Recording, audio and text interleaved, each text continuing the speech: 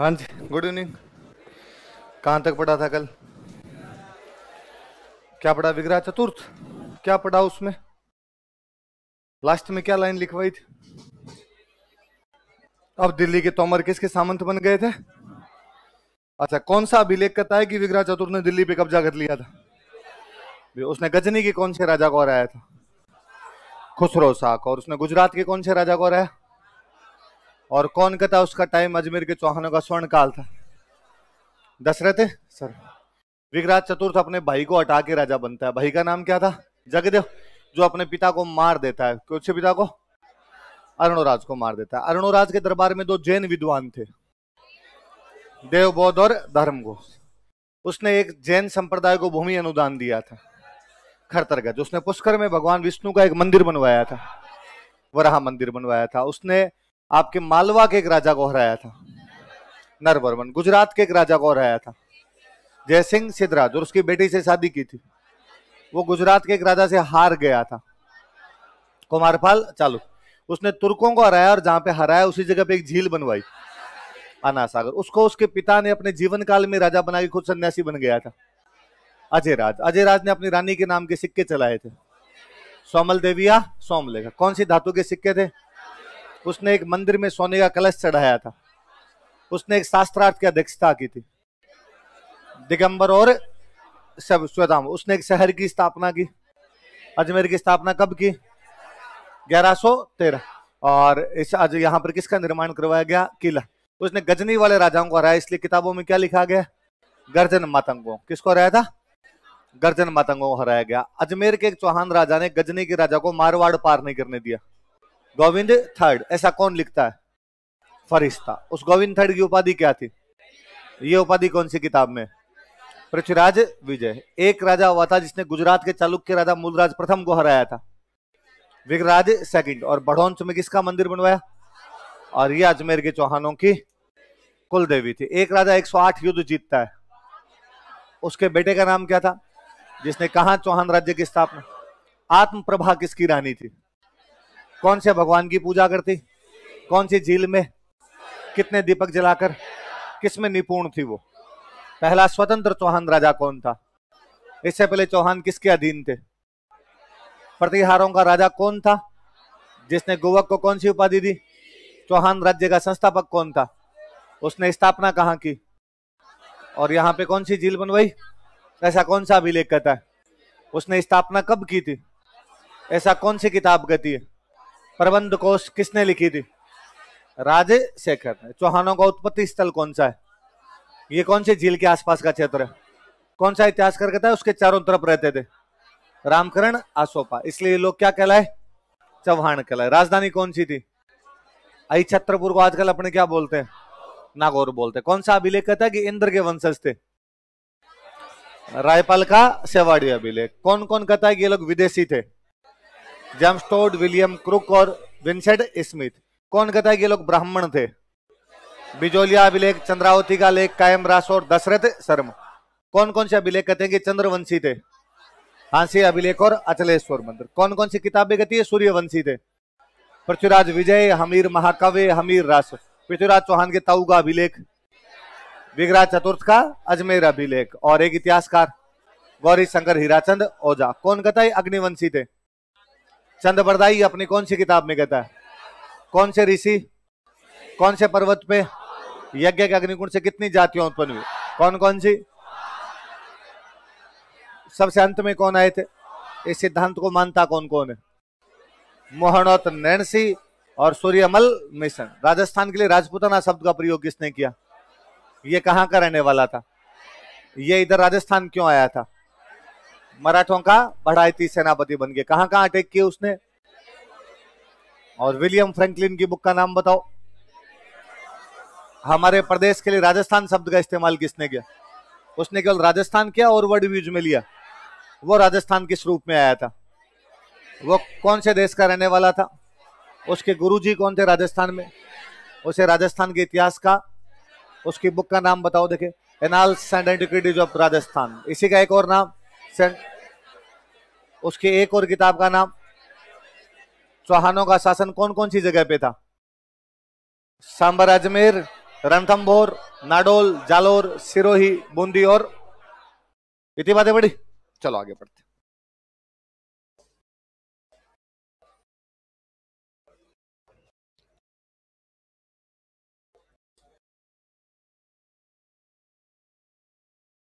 कल last line हमने एक लिखी थी कि इसने दिल्ली पर विजय प्राप्त कर ली थी। ऐसा बिजोलिया का अभिलेख कहता है। और दिल्ली वाले तोमर थे वो अब चौहानों के क्या बन गए थे? साम, सामंत बन गए। दिल्ली के पास में हरियाणा की तरफ़ जब नीचे उतर के आते हैं तो वहाँ पर पहाड़ियाँ हैं जिन पहाड़ियों का नाम है शिवालिक की पहाड़ियाँ। कौन सी पहाड़ियाँ? उन शिवालिक की पहाड़ियों में इसने एक पिलर पर अपना लेख लिखवाया। एक पिलर पे क्या लिखवाया? मैंने बताया था कि चौड़े पत्थर पे लिखते तब तो शिला लेख और लंबे पत्थर पे लिखते हैं, उसको क्या बोलते हैं? तो कौन सा स्तंभ लेख है? शिवालिक स्तंभ लेख। कोई पूछे, शिवालिक स्तंभ लेख कौन से चौहान राजा ने लगवाया? विगराज चतुर, दिल्ली के पास के अंदर, शिवालिक की पहाड़ियों में। इसलिए अपने कई बार इसको बोलते हैं दिल्ली शिवालिक। क्या बोलते हैं? कि दिल्ली शिवालिक स्तंभ लेख किसने लगवाया था? तो किसने लगवाया था? और सुनना देखो बात। भारत में ये अभिलेख लगवाना किसी राजा ने बड़े तौर पर शुरू किए थे तो वो राजा अशोक। वो राजा कौन है? अशोक नाम का एक राजा जिसने अभिलेख लगवाने शुरू किए। अशोक ने हरियाणा में एक जगह पे एक पिलर लगवाया। एक पिलर लगवाता, उस जगह का नाम है टोपरा। उस जगह का नाम क्या है? टोपरा नाम की जगह पर उसने अपना एक लेख लगवाया। एक पिलर पर लेख लगवाया, इसलिए क्या हो गया उसका वो? टोपरा स्तंभ लेख। कौन सा हो गया? टोपरा। एक पिलर लगाया, पिलर के ऊपर ऊपर ऊपर वाले भाग में उसने लिखवा दिया। सात पैराग्राफ। कितने पैराग्राफ लिखवाए? एक पिलर है, उस पिलर के ऊपर अशोक का अभिलेख लिखा हुआ है, उस अभिलेख में कितने पैराग्राफ है? वो कौन से गाँव में लगा हुआ है? टोपरा का इसलिए हम क्या बोलते हैं उसको? टोपरा स्तंभ कौन से राजा का है? कौन से राजा का? अशोक का है। नीचे वाली जगह खाली। नीचे वाली जगह खाली। अशोक के 1200-1300 साल बाद में हुआ विग्राज चतुर्थ। अशोक के भी लगभग 1200-1300 साल बाद में कौन होता है अपना विग्राज चतुर्थ। विग्राज चतुर्थ इधर गया, टोपरा में गया। और उसने कहा पिलर और पिलर में नीचे जगह खाली है। तो उसने कहा भरो तो इसके नीचे लेख किसने लिखवा दिया? विग्रराज अब ये गाँव कौन सा है? टोपरा। पहाड़ों के बीच में गाँव है। वो जो पहाड़ है, उन पहाड़ों का नाम है शिवालिक। पहाड़ों का नाम क्या तो नीचे वाले लेख को हमने क्या कहना शुरू कर दिया? शिवालिक स्तंभ लेख क्या करना शुरू कर दिया? तो इस पिलर पर दो लेख है। ऊपर किसका लेख है? अशोक का। नीचे किसका लेख है? अशोक वाले को गाँव के नाम पर क्या बोलते हैं? टोपरा स्तंभ लेख। नीचे वाले को पहाड़ियों के नाम पे क्या बोलते हैं? एक ही पिलर के दो अभिलेख है, कोई अलग अलग नहीं। पर अलग अलग अपने को याद कैसे रखें तो अशोक वाले का नाम दे दिया, गाँव के नाम पे टोपरा, और नीचे वाले का पहाड़ियों के नाम पे क्या दे दिया? विग्राज चतुर्थ के भी 300 साल बाद दिल्ली में एक सुल्तान बनता है, फिरोज तुगलक। कौन सुल्तान बना फिरोज तुगलक यहाँ पे 200 ढाई तीन सौ साल बाद में एक नया राजा बनता है। फिरोज तुगलक एक बार टोपरा की तरफ़ आया। उसको पिलर बड़ा पसंद आया। क्या लिखा हुआ था उसके पल्ले? नहीं पड़ा। पिलर बड़ा शानदार। पॉलिसी थी शानदार की हुई थी कि दूर से चमक रहा था। उसने कहा, उखाड़ो। वो पिलर उखाड़ के लगा देता है दिल्ली। कहाँ लगा देता है? तो हमें ये बाद में जब लोगों ने इसे पढ़ा था, अंग्रेज़ों ने जब पढ़ा तो अंग्रेज़ों ने पढ़ा कहाँ पर इसको? दिल्ली में। इसलिए ऊपर वाले लेख का नाम कर दिया दिल्ली टोपरा। क्या नाम कर दिया? है तो टोपरा का, मिला कहाँ से? दिल्ली से। और नीचे वाले का नाम कर दिया दिल्ली शिवालिक। है तो शिवालिक की पहाड़ियों का, लेकिन मिला कहाँ से? अब दो चीज़। कोई ये पूछे, दिल्ली शिवालिक स्तंभ लेख कौन से राजा ने लिखवाया था? यह अभिलेख कौन से अभिलेख के नीचे है? दिल्ली टोपरा। और दिल्ली टोपरा किसका है? याद रहेगी बात? ये 2013 के प्रीलिम्स का सवाल है कि दिल्ली शिवालिक स्तंभ लेख किसने लगवाया था? तो किसने लगवाया था? विगराज चतुर्थ। ये कौन सा अभिलेख के ठीक नीचे है? अशोक के दिल्ली टोपरा स्तंभ लेख याद रहेगी बात? लिखो। स्टार लगा के लिखना। इसने दिल्ली शिवालिक स्तंभ लेख लगवाया था। He installed Delhi Shivalik pillar edict install किया इसने वहाँ पे। He installed Delhi Shivalik pillar edict इसने दिल्ली शिवालिक स्तंभ लेख लगवाया था। He installed Delhi Shivalik pillar edict Delhi Shivalik स्तंभ लेख लगवाया था। He installed Delhi Shivalik pillar edict line change करके लिखना। यह अशोक के दिल्ली टोपरा स्तंभ लेख के ठीक नीचे लिखा गया है। यह अशोक के दिल्ली टोपरा स्तंभ लेख के ठीक नीचे लिखा गया है। It is written right under Delhi Topra pillar edict of Ashoka. It is written right under Delhi Topra pillar edict of Ashoka. यह अशोक के दिल्ली टोपरा स्तंभ लेख के ठीक नीचे लिखा गया है। It is written right under Delhi Topra pillar edict of Ashoka. Ashoka के दिल्ली टोपरा स्तंभ के ठीक नीचे लिखा गया। अशोक वाली लाइन को बॉक्स में बंद करो, ताकि पता रहे कि भाई ये लाइन अलग है।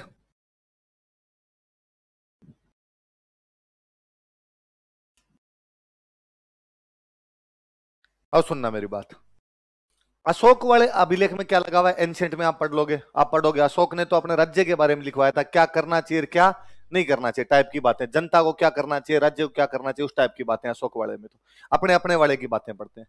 कि विग्रराज इस अभिलेख के अंदर क्या लगवाता है? विग्रराज लिखवाता है कि अभी अभी तुर्कों का एक अटैक हुआ है। किसका अटैक हुआ है? तुर्कों का अटैक हुआ और मैंने तुर्कों को पीट कर अटक नदी के पार भगा दिया है। मैंने तुर्कों को पीट कर अटक नदी के पार भगा दिया है।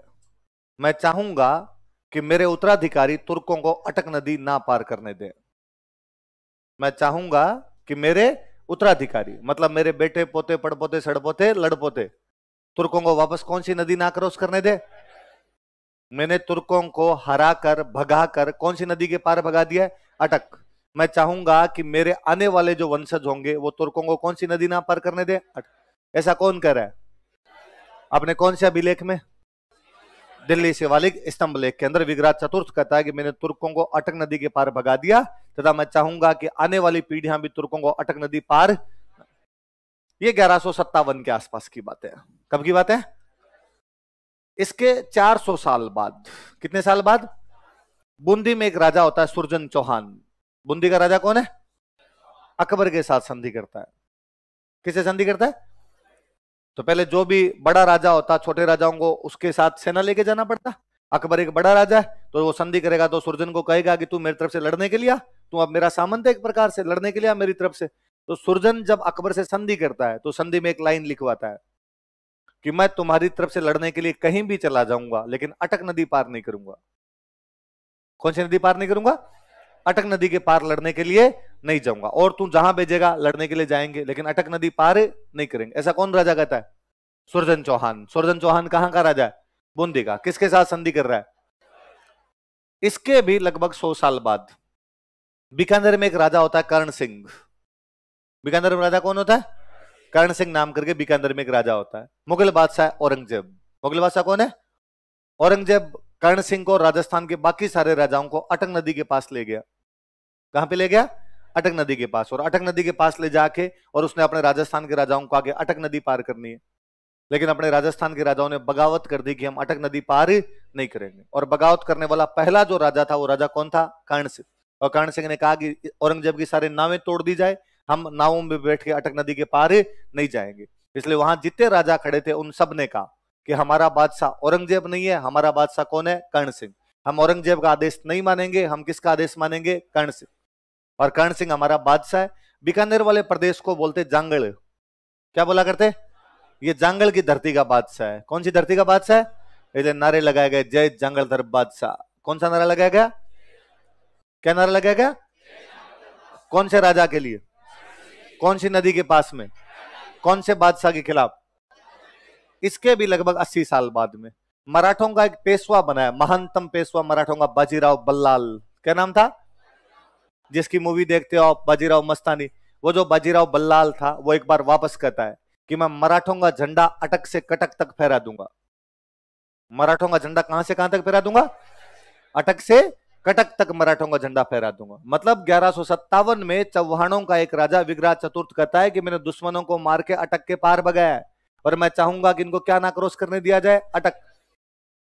पंद्रह के आसपास में राजा सुरजन जो है, वो अकबर को कह रहा है कि मैं लड़ने के लिए कहीं भी जा सकता हूँ, लेकिन अटक नदी को पार नहीं करूँगा। उसके बाद बीकानेर का राजा कर्ण सिंह औरंगज़ेब के खिलाफ बगावत करता है और अटक नदी के पार जाने से मना कर देता है, इसलिए बाकी राजा उसको उपाधि देते हैं। कौन सी? जांगलधर बादशाह। और उसके भी सत्रह अस्सी साल बाद मराठों का पेशवा बाजीराव बल्लाल कहता है कि मराठों का झंडा कहाँ से कहाँ तक होगा? अटक से कटक।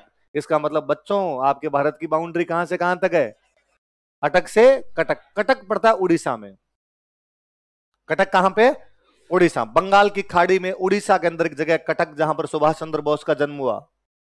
किसका जन्म हुआ था? तो उड़ीसा में पड़ता है। कहाँ पे पड़ता है? उड़ीसा में। कौन सी जगह? कटक। तो अपने समझ में आ गया कि अपनी पूर्वी सीमा ईस्टर्न बाउंड्री जो है, वो तो बंगाल की खाड़ी है। बंगाल की खाड़ी की बात तो आगे दूसरे देश आ जाएँगे वैसे। बंगाल की खाड़ी तक अपनी सीमा, बंगाल की खाड़ी में वो जो जगह है, उस जगह का नाम क्या है? कटक। कौन सी जगह अटक, पाकिस्तान में। अटक कहाँ पे है? आपकी एक नदी है सिंधु। सिंधु नदी पहाड़ों पहाड़ों में बहती है हिमालय में उधर निकल के, तिब्बत की तरफ़ से निकल के आती है। पहाड़ों में बहती बहती बहती बहती पाकिस्तान के अंदर जाती है। हिंदुस्तान पूरा पहाड़ों में क्रॉस करती है, उसके बाद वो नीचे जाती है पाकिस्तान में। सिंधु नदी पाकिस्तान में जाके पहली बार मैदान के अंदर मिलती है। मैदान में पहुँचती है तब तक वो पहाड़ों में चलती रहती है। और जिस मैदान में पहुँचती है, उस मैदान का नाम है अटक का मैदान। क्या नाम है? क्योंकि वहाँ पर एक छोटी सी नदी है, जिस नदी का नाम है अटक, जो सिंधु में आके मिलती है। अटक नदी जो मैदान बनाती है, उसका नाम क्या हो गया? अटक का मैदान। वहाँ पर अटक नदी आगे किसमें मिल जाती है? सिंधु। तो सिंधु की सहायक नदी कौन सी हो गई? वो अटक नदी भारत की पश्चिमी सीमा है। अटक नदी क्या भारत की? हमारे यहाँ के लोग मानते थे। कि अटक नदी के इधर इधर के जो लोग हैं उनकी कल्चर एक जैसी है अटक नदी के उधर के जो लोग हैं उनकी कल्चर अलग है उधर के लोग गाय खाते हैं इधर के लोग गाय को माँ मानते हैं उधर के लोग मंदिर तोड़ देते हैं इधर के लोग मंदिरों में पूजा करते हैं उधर के लोग मूर्तियों को नहीं रखते मूर्तियाँ तोड़ते हैं इधर के लोग मूर्तियों की पूजा करते हैं उधर के लोग यज्ञ नहीं करते इधर के लोग यज्ञ करते हैं इसलिए हमें कल्चरल डिफरेंस है इसलिए उधर के लोग इधर रहो इधर के लोग इधर रहो अपने वालों को उधर नहीं जाना और उधर वालों को इधर नहीं आना। इसलिए विग्रह चतुर्थ कह के गया, अभिलेख में लिखवा के गया कि इन इधर वालों को अटक क्रॉस मत करने देना रहे। क्योंकि इधर वाले अटक क्रॉस कर गए, तुम्हारी कल्चर छिन्न भिन्न होगी। ये तुम्हारे मंदिर तोड़ेंगे, ये तुम्हारे यज्ञ बुझाएँगे, ये तुम्हारी गाय को काटेंगे, ये तुम्हारी मूर्तियाँ तोड़ेंगे। इसलिए मैंने इनको पीट पीट के कौन सी नदी के पार भगा दिया? अटक। और मैं चाहूँगा कि क्या ना क्रॉस करने पाए? इसलिए हमारी सीमा अटक है, बागा बॉर्डर नहीं। हमारी सीमा क्या है? बागा बॉर्डर नहीं है। सैतालीस में लाइनें खींच दी होगी। और सैतालीस में लाइन खींच के कह दिया गया कि हमारी सीमा क्या है? बागा बॉर्डर ना ना ना। हमारी सीमा वो है, जिसके लिए मराठा पेशवा बाजीराव बल्लाल बोल के गया था कि हम झंडा कहाँ से कहाँ तक फहराएँगे। वो अटक से कटक ही क्यों बोल रहा है? उसने ये तो नहीं कहा, कटक से ईरान तक फहरा देंगे। उसने ये तो नहीं कहा कि बंगाल से उज्बेकिस्तान चले जाएँगे। वाई अटक से कटक? क्योंकि वो जानता है कि हमारा भारत कहाँ से कहाँ तक है। इसलिए जब तक भारत में अटक नहीं है, तब तक भारत नहीं है। पिछली तीन पीढ़ियाँ बेलखनी है। इसलिए पिछली तीन पीढ़ियों ने अटक लेने का कोई भी प्रयास है नहीं हमारे वाली पीढ़ी मुझे और बेलखनी लगती है कि हमारे वाली पीढ़ी भी ऐसा कोई भी प्रयास है नहीं कर पाएगी। एक दिन माँ भारतीय सत्य सपूतों को जन्म देगी। हमारी आने वाली पीढ़ियाँ शायद विग्रह चतुर्थ अभिलेख को देकर वापस अटक लेने का प्रयास करेगी। जब तक सिंध नहीं है, तब तक हिंद नहीं है। जब तक अटक सिंध में पड़ता है। अटक कहाँ पड़ता है? तो जब तक सिंध नहीं है आपके पास, तब तक क्या नहीं है? राष्ट्रगान झूठा ही गाते हो। पंजाब, सिंध, गुजरात, मराठा, द्राविड़, उत्कल, बंगा, कहा है सिंध? पाकिस्तान में। गा रहे हो भारत के राष्ट्रगान में। है ही नहीं तुम्हारे पास में सिंध। जब सिंध नहीं है तो फिर राष्ट्रगान को गाने का मतलब ही क्या है? या फिर गाओ। पंजाब, गुजरात, मराठा, द्राविड़, उत्कल, बंगा। कम से कम उसको तो निकाला जाए। मुझे कई बार लगता है कि हमारे संविधान बनाने वालों ने उसको नहीं निकाला तो उनके मन में रहा होगा कि आज नहीं है। लेंगे, कल लेंगे, परसों लेंगे, आएगा। सिंध भी एक दिन, मेरे कारण अर्जुन तो हम वापस क्या लेंगे? सिंध वापस लेंगे। और जिस दिन सिंध वापस लेंगे, उस दिन एक बार फिर हमारी सीमा कहाँ से कहाँ तक होगी? उस दिन बाजीराव ऊपर बैठ के पुष्प वर्षाएँ करेगा। आज आज अंदर जो पीछे सपूत छोड़ के आया था मैं, उन सपूतों ने आज नाम रोशन किया झंडा एक बार फिर हमारा अटक से कटक। ये तो अपने भारत के अभिलेखों की बात बताई। कि यार कंटिन्यूटी देखिए। हमारे लोगों का एक वो विचारों का प्रवाह देखे फ्लो देखे टूट नहीं रहा है। मतलब 1100 में एक आदमी सेम बात कर रहा है 1500 में वो सेम बात कर रहा है 1600 में सेम बात कर रहा है 1700 में सेम बात कर रहा है। इसका मतलब अब हम भूले हैं। उनको तो लगातार हज़ार साल तक याद था कि हमारी बाउंड्री कौन सी है। अटक से कटक तक हमारी बाउंड्री इधर अटक तक अपने हैं। मैं क्रिकेट का बड़ा शौकीन हूँ। मैं अभी लॉकडाउन में निकम्मा ही बैठा था, काम तो कुछ था नहीं। तो यूँ यूट्यूब पे वीडियो देखते रहता। पाकिस्तान वाले शोएब अख्तर जो बोल रहे तो एक दिन शोएब अख्तर का एक वीडियो मेरे सामने है। शोएब अख्तर नया नया रिटायर हुआ था। क्रिकेट से रिटायरमेंट लिया था, उसके बाद का एक वीडियो है।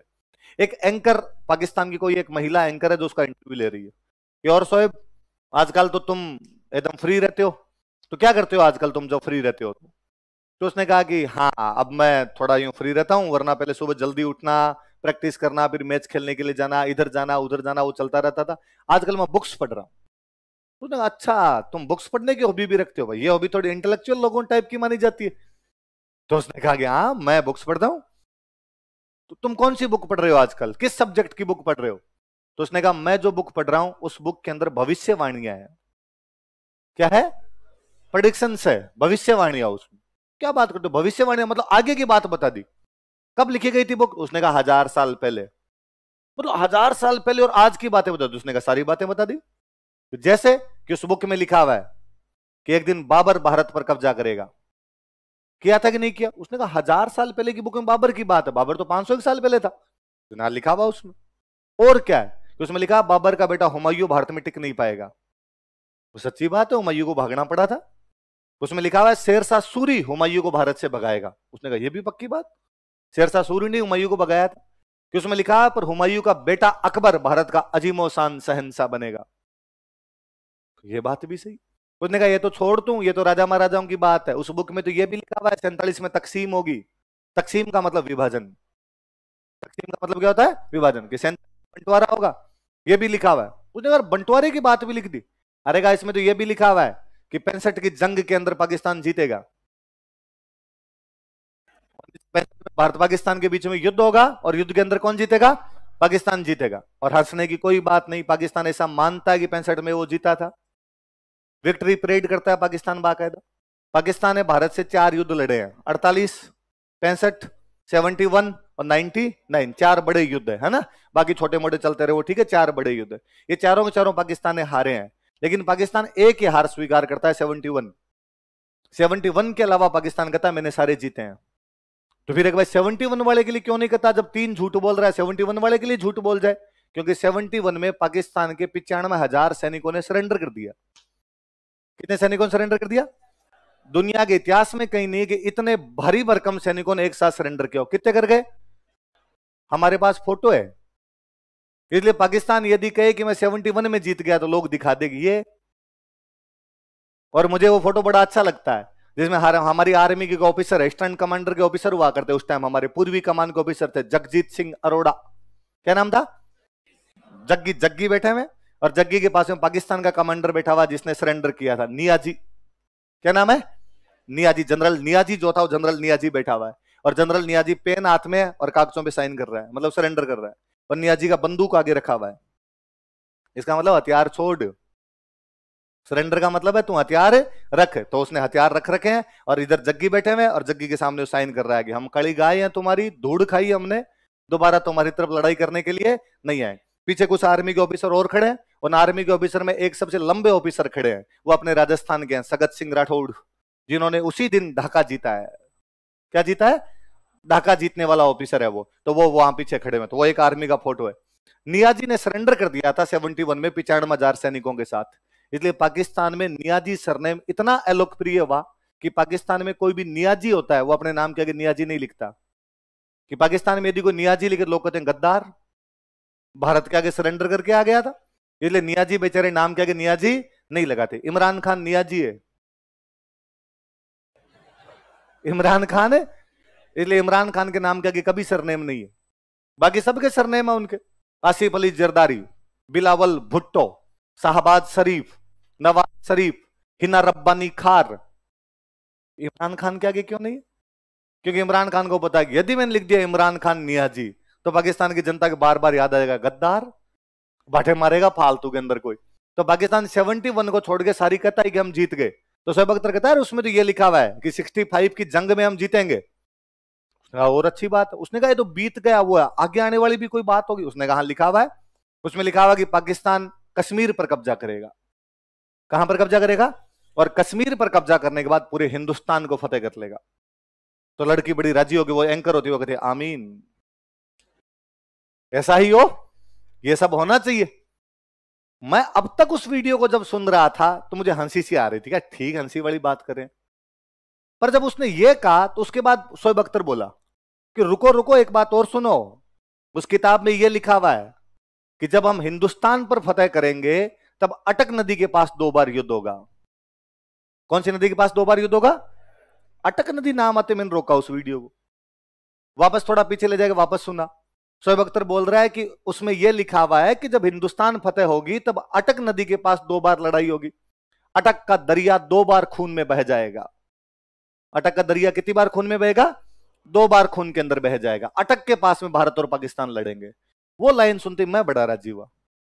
मगर यदि भारत की सेना अटक के पास जाके लड़ेगी, इसका मतलब हमने पाकिस्तान पे कब्जा कर लिया।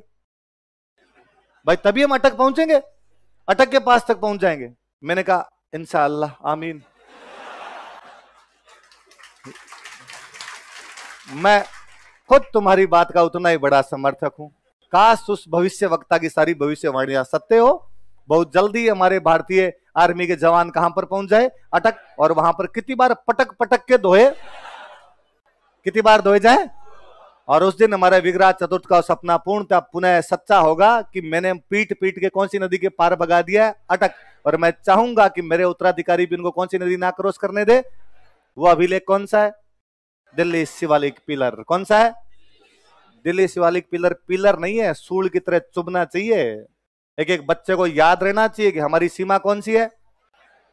क्या पता हम आँखों से देख पाएँगे एक बार फिर हमारा जो बॉर्डर होगा वो कौन सा होगा। और अगली पीढ़ी तो कम से कम ये ना कहेगी कि हमारा बॉर्डर बागा है। हमारा बॉर्डर फिर सिंपल सा बच्चे के याद रहेगा। हमारा बॉर्डर अटक से याद रहेगी बातें? चलो आगे सुनो। जयपुर वाले पानी कहाँ का पीते हो? कोई घर है कुएँ का? बिसलपुर। कहाँ का पानी पीते हैं अपने? ये बिसलपुर टोंक में एक शहर पड़ता है। इस बिसलपुर को बसाने वाला विग्राज चतुर्थी था। बिसलपुर को बसाने वाला कौन है? और इसने यहाँ पर एक तो बनवाया तालाब। क्या बनवाया? मैं कल से आपको बता रहा था थोड़ा थोड़ा कि ये जो चौहान है, ये कौन से भगवान के भक्त हैं? शिव जी तो एक किसका मंदिर बनवा दिया इसने वहाँ पे शिव जी का। लिखो। इसने बिसलपुर नगर की स्थापना की। ये founded a town named Bisalpur. इसने बिसलपुर नगर की स्थापना की। ये founded a town named Bisalpur. इसने बिसलपुर नगर की स्थापना की। ये founded a town named Bisalpur. कौन से नगर की स्थापना की? तथा यहाँ पर तालाब व शिव मंदिर का निर्माण करवाया। And built a pond and Shiva temple here.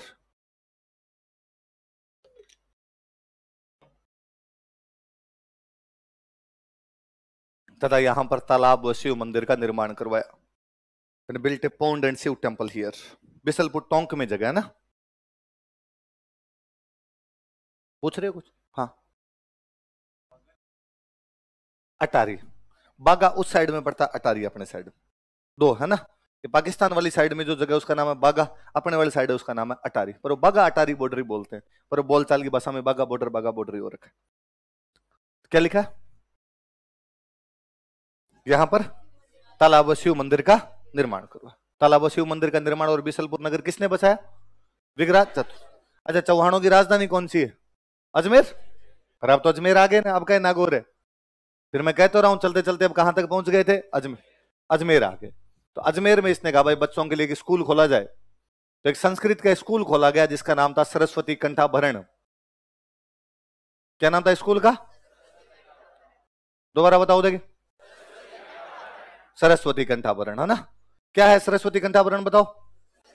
Sanskrit का स्कूल। कहाँ पे खोला गया? आभरण आभरण का मतलब होता है आभूषण। क्या मतलब होता है? कंठों का आभूषण, कंठ का आभूषण विद्या। कंठ का आभूषण विद्या। विद्या की देवी कौन?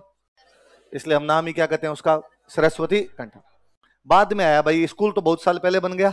बाद में यहाँ पर एक बंदा आया, कुतुबुद्दीन एबक कौन बंदा आया? कुतुबुद्दीन एबक नाम करके एक आदमी आया और कुतुबुद्दीन एबक ने इस पाठशाला को तोड़ दिया।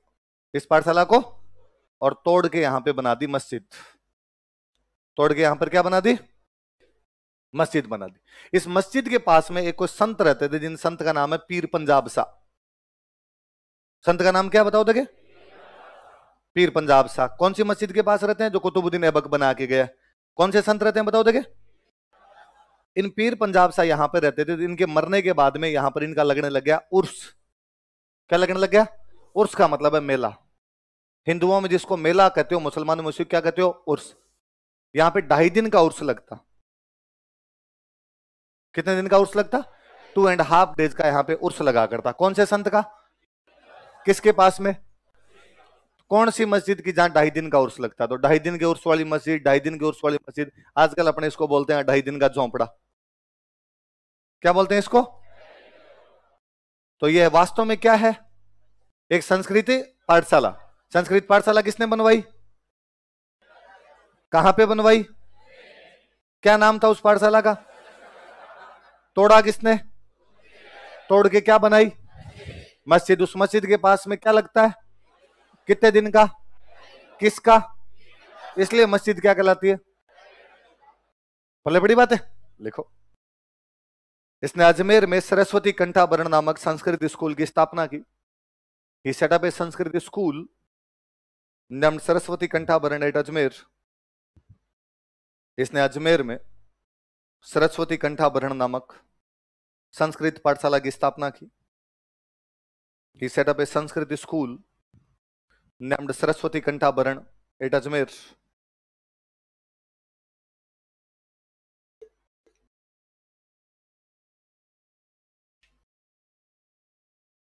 He set up a Sanskrit school named Saraswati Kantabaran at Ajmer. Line change करके लिखना। कालांतर में कुतुबुद्दीन ऐबक ने इस पाठशाला को तोड़ दिया। कालांतर में कुतुबुद्दीन ऐबक ने इस पाठशाला को तोड़ दिया। Later on Qutubuddin Aibak demolished this school demolished this school कालांतर में कुतुबुद्दीन ऐबक ने इस पाठशाला को तोड़ दिया। Later on Qutubuddin Aibak demolished this school. Demolished this school. Qutubuddin Aibak ने इस पाठशाला को तोड़ दिया, तथा इसे एक मस्जिद में बदल दिया। And change it in a mosque तथा इसे एक मस्जिद में बदल दिया। And change it in a mosque तथा इसे एक मस्जिद में बदल दिया। And change it in a mosque जिसे अढ़ाई दिन का झोंपड़ा कहा जाता है विच इज़ कॉल्ड इज़ अढ़ाई दिन का झोंपड़ा, जिसे अढ़ाई दिन का झोंपड़ा कहा जाता है विच इज़ कॉल्ड एज अढ़ाई दिन का झोंपड़ा, जिसे अढ़ाई दिन का झोंपड़ा कहा जाता है विच इज़ कॉल्ड एज अढ़ाई दिन का झोंपड़ा। क्या कहा जाता है? अढ़ाई दिन का? झोंपड़ा कहा जाता है। लाइन चेंज करके लिखो वापस। इसको बॉक्स में बंद करो। कुतुबुद्दीन बक वाली बात को बॉक्स में बंद करो।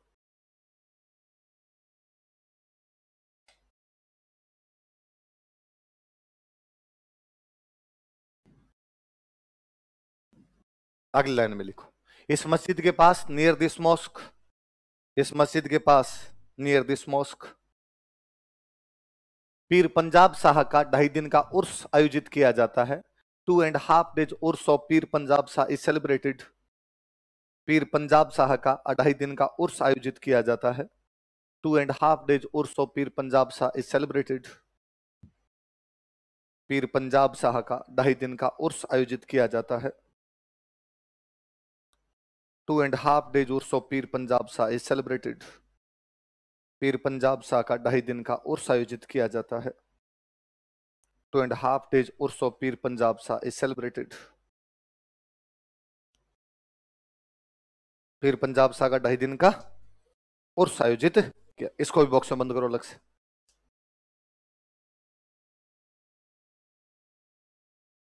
इसके पिताजी थे अरुण राज है ना और अरुणराज के दरबार में दो जैन विद्वान बताए थे मैंने नाम बताओ देखे देवबोध और धर्म धर्म घोष बाद में इसके दरबार में भी रहे थे विगराज के दरबार में पूरा नाम था धर्म घोष सूरी। क्या नाम था?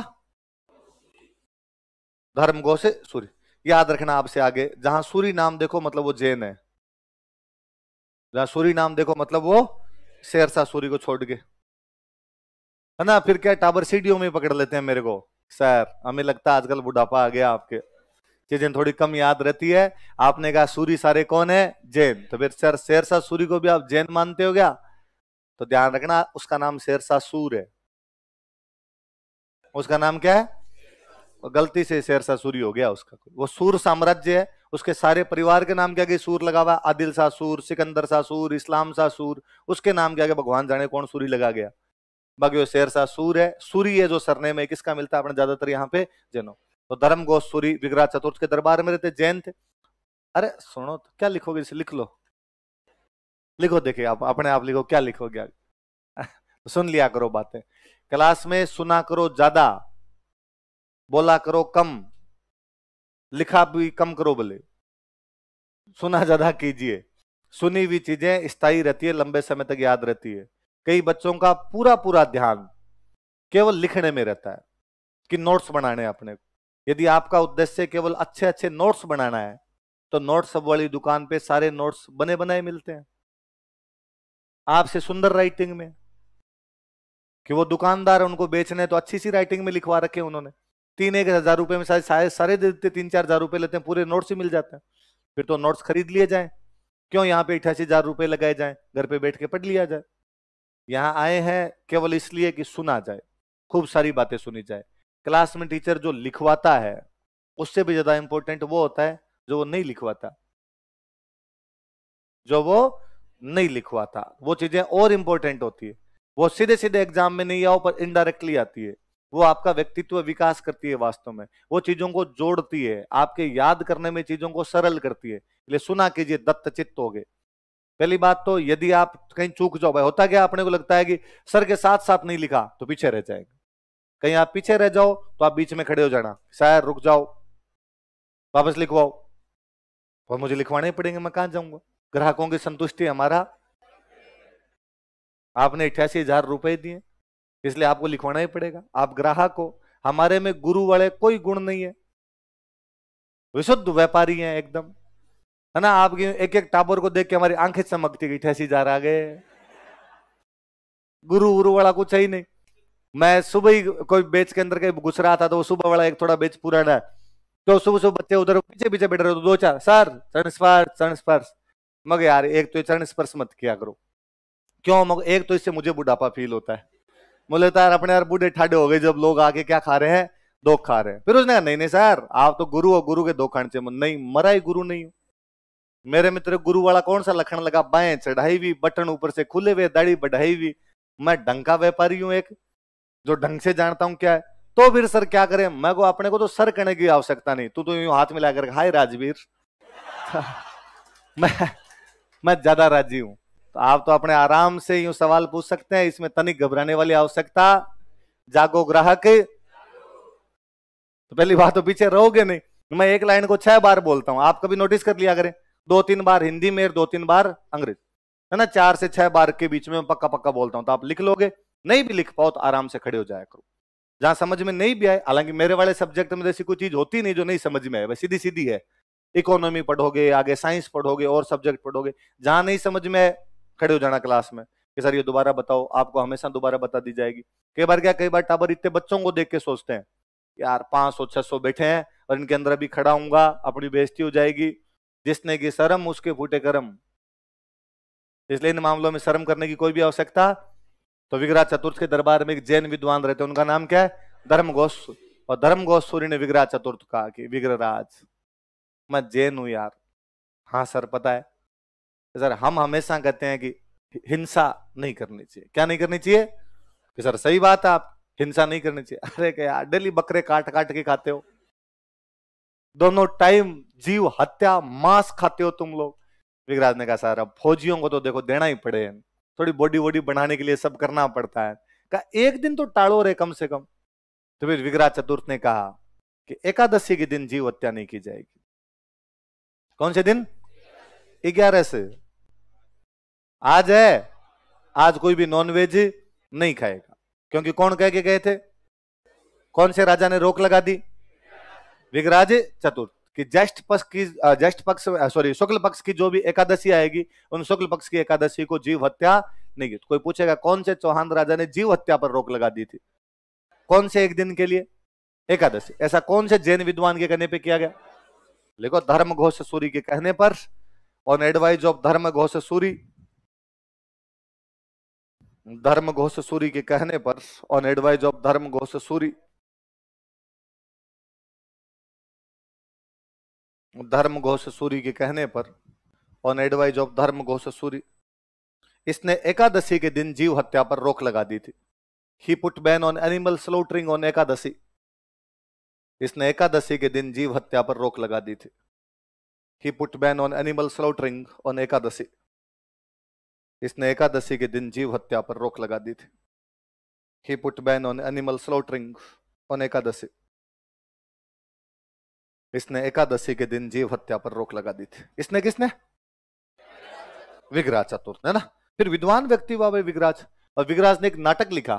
उस नाटक का नाम है हरकेली। नाटक का नाम क्या? है दोबारा बोलो।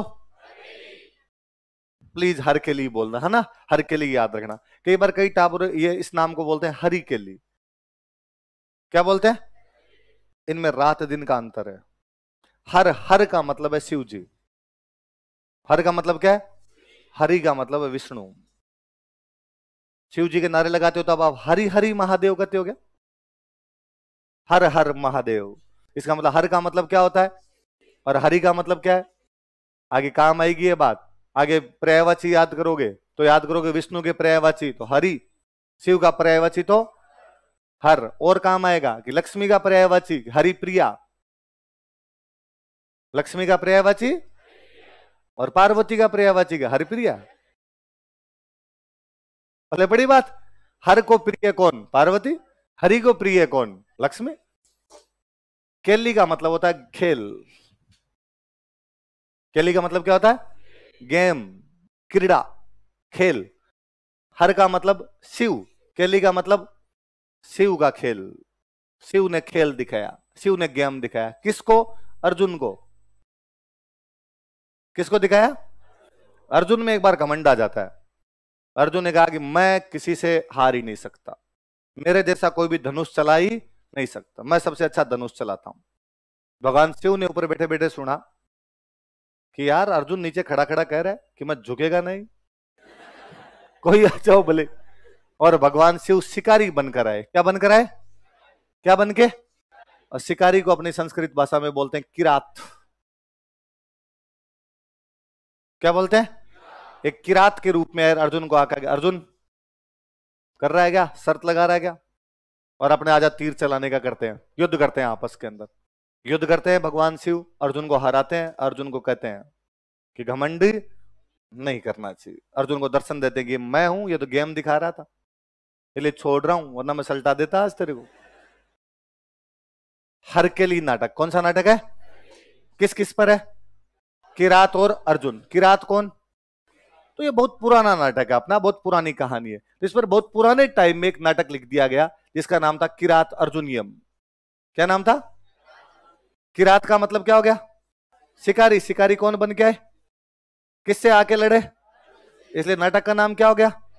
और ये नाटक लिखने वाले अपने एक बहुत महान विद्वान वे बारहवीं कौन विद्वान वे पर बारहवीं ने बहुत साल पहले ये किताब लिख दी थी। इसी बारहवीं की किताब को आधार बना के इसी बारहवीं की किताब को बेस बना के हमारे राजा ने जो नाटक लिखा, उस नाटक का नाम क्या है? सेम एक ही बात आई। बात समझो भले आप किरात अर्जुनियम का दो या क्या कर दो हर के लिए। थोड़ी थोड़ी बातें अलग हो सकती है सेंटेंस फ्रेमिंग अलग हो सकती है, बाकी मैटर सेम है। किरात अर्जुनियम किसने लिखा? और इसी को आधार बना विग्राज ने क्या लिख दिया? इसने हरकेली नामक पुस्तक लिखी थी। He wrote a book named Harkeli याद रहेगा ना? हरी के नहीं बोलना भाई। क्या बोलना है इसको? इसने हरकेली नामक पुस्तक लिखी थी। He wrote a book named Harkeli Harkeli नामक पुस्तक लिखी थी। He wrote a book named Harkeli. Line change करके लिखो। यह है, बारहवीं के किरात अर्जुनियम पर आधारित है। It is based on Kirat अर्जुनियम of बारहवीं। यह बारहवीं के किरात अर्जुनियम पर आधारित है। It is based on Kirat अर्जुनियम of बारहवीं। यह बारहवीं के किरात अर्जुनियम पर आधारित है। It is based on Kirat अर्जुनियम of बारहवीं बारहवीं की कौन सी किताब पर आधारित है? किरात अर्जुनियम किरात का मतलब क्या होता है? शिकारी. बॉक्स में बंद कर दो इसको. तो देखो कितने पर्यायवाची याद हुए? शिकारी का पर्यायवाची क्या हो गया? किरात शिव जी का पर्यायवाची हर. विष्णु जी का पर्यायवाची लक्ष्मी का पर्यायवाची हरिप्रिया. पार्वती का पर्यायवाची हरिप्रिया. याद रहेंगे सारे? चलो. लिखो दरबारी विद्वान. इसके दरबार में विद्वान कौन थे? कोर्ट स्कॉलर दरबारी विद्वान। और एक बंदा है जिसका नाम है सोमदेव।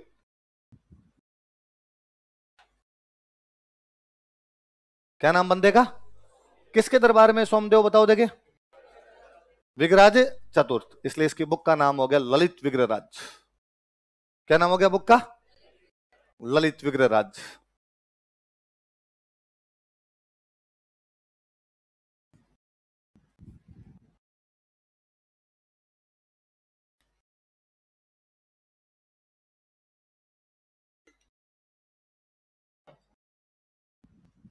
क्या नाम बुक का? वास्तव में तो बुक लव स्टोरी है। विग्रहराज की और उसकी एक रानी की प्रेम कहानी है। उसकी रानी का नाम था देसल देवी। क्या नाम था? तो किस किस की प्रेम कहानी है बताओ देखे। विग्रह चतुर्थ और देसल देवी की प्रेम कहानी है। कौन सी किताब? जो कि किसके द्वारा लिखी गई? पर वही है, भारतीय प्रेम कहानियों में एक्शन सीन आए बिना तो रहे नहीं। और फिर एक्शन सीन इसमें भी है। कि जब विग्राज चतुर्थ और देसल देवी अपने प्रेम में पागल हो रखे थे, उन्हीं दिनों के अंदर गजनी का राजा खुसरो सा आक्रमण कर देता है। गजनी का राजा कौन आक्रमण कर देता है? इस किताब में लिखा हुआ है कि जिन दिनों विग्राज और देसल देवी के बीच में प्रेम चल रहा था, उन्हीं दिनों में गजनी के राजा खुसरो ने क्या कर दिया? विग्राज को इस बात पर बहुत गुस्सा आता है। विग्राज अपनी राजधानी अजमेर से बाहर निकलता है। खुसरो को पीड़ता व अटक नदी तक लेके जाता है। कहाँ तक लेके जाता है? और उसे अटक नदी के पार भगा के आता है। उसके बाद दिल्ली शिवालिक स्तंभ लिखवाता और उसमें लिखवाता है कि मैंने तुर्कों को पीट पीट कर अटक के पार भगा दिया और मैं चाहूँगा कि वो दोबारा अटक पार। तो वो यदि अभिलेख कोई पढ़े तो उस अभिलेख में इतना ही है कि मैंने तुर्कों को पीट पीट के अटक के पार भगा दिया और मैं चाहूँगा कि वो कभी अटक पार ना पर कौन से तुर्कों को कूटा किसको बगा के आया? ऐसा उसने अपने अभिलेख में नहीं लिखा। पर जब एक किताब पढ़ते हैं, तब पता चलता है वो गजनी के खुसरो सा को हरा के आया था। गजनी कौन से राजा को हराया था? तो अब कोई पूछे, गजनी के खुसरो शाह को विगराज ने हराया था। ऐसा कौन सी किताब में लिखा हुआ है? कौन से राइटर ने? इस किताब में किसकी प्रेम कहानी है? लिख इस पुस्तक अच्छा उतरा नहीं क्या? सोमदेव, ललित विगराज लिख ली? बुक का नाम लिख लिया? फिर लिखो, इस पुस्तक में इन दिस बुक इस पुस्तक में, इन दिस बुक विग्रहराज चतुर तथा देसल देवी की प्रेम कहानी है। प्रेम कहानी का वर्णन है। Love story of Vigraj fourth and Desal Devi is mentioned या इज़ डिस्क्राइब्ड इस पुस्तक में, इन दिस बुक विग्राज चतुर तथा देसल देवी की प्रेम कहानी love story of Vigraj fourth and Desal Devi का वर्णन है इज़ मेंशनड विग्राज चतुर तथा देसल देवी की प्रेम कहानी का वर्णन है। Love story of Vigra's fourth and Desal Devi is mentioned.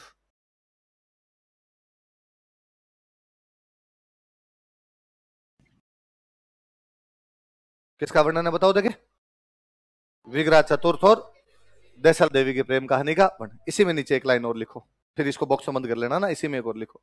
इसी पुस्तक के अनुसार अकॉर्डिंग टू दिस बुक इसी पुस्तक के अनुसार अकॉर्डिंग टू दिस बुक इसने गजनी के राजा खुसरो को हराया था। वैसे तो अपने लिख लिया ऊपर, पर कोई ना रिपीट कर लो वापस। इसने गजनी के राजा खुसरो शाह को हराया था। डिफीटेड गजनीज किंग खुसरो कल बताई थी ना मैंने बात तो? इसने गजनी के राजा खुसरो शाह को हराया था। डिफीटेड गजनीज किंग खुसरो शाह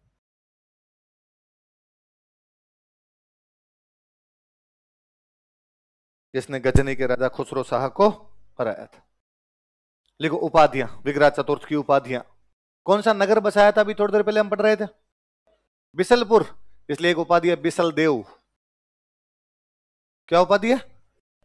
बिसल देव दरबार में कवि रहते, खुद कविताएँ लिखता, काव्य लिखता, इसलिए एक उपाधि होगी कवि बंधु। कि कवियों का बंधु है भाई।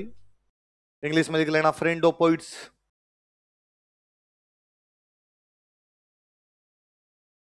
कवि बंधु। कि कवियों का बंधु है। कल हमने बात की कि गोविंद थर्ड को एक उपाधि दी गई, वेरी घट। कौन सी उपाधि दी गई? ऐसा कौन सी किताब में तो पृथ्वीराज विजय। तो विग्राज चतुर्थ की जो दूसरे वाली उपाधि कवि बंधु। ये भी कौन सी किताब में पृथ्वीराज विजय। पृथ्वीराज विजय के अंदर लिखा हुआ है कि जिस दिन विग्रह चतुर्थ मरा था, उसके बाद कवि बंधु नाम की उपाधि का कोई भी मतलब इसका मतलब ये उपाधि किसकी थी? विग्रह चतुर्थ की। तो लिख लो कोष्टक में। पृथ्वीराज विजय के अनुसार अकॉर्डिंग टू पृथ्वीराज विजय पृथ्वीराज विजय के अनुसार अकॉर्डिंग टू पृथ्वीराज विजय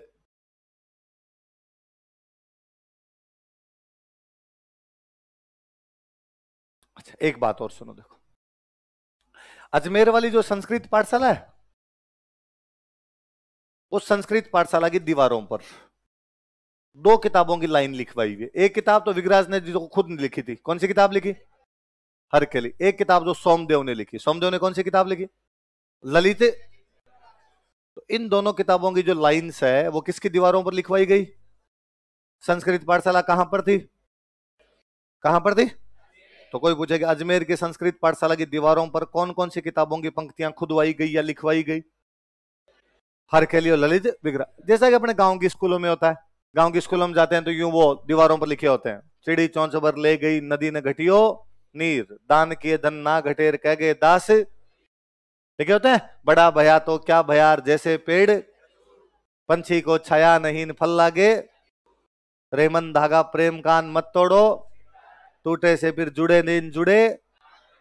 वैसे वैसे, यहाँ पे लिखे आपको दो याद है यार, खूब सारे। अच्छा संस्कृत पाठशाला की दीवारों पे कौन कौन से हर के लिए यही लिखो, फिर बॉक्स में बंद कर लेना अलग से अपने। संस्कृत पाठशाला की दीवारों पर on walls of Sanskrit school Sanskrit पाठशाला की दीवारों पर on walls of Sanskrit school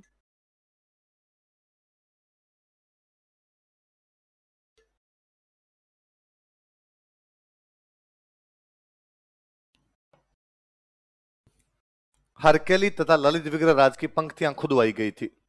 Lines of Harkeli and Lalit Vigraha Raj were engraved हरकेली तथा ललित विग्रह राज की पंक्तियाँ खुदवाई गई थी। ऑफ़ हरकेली एंड ललित विग्रह राज वर एनग्रेव्ड हरकेली तथा विग्रह राज की पंक्तियाँ खुदवाई गई थी।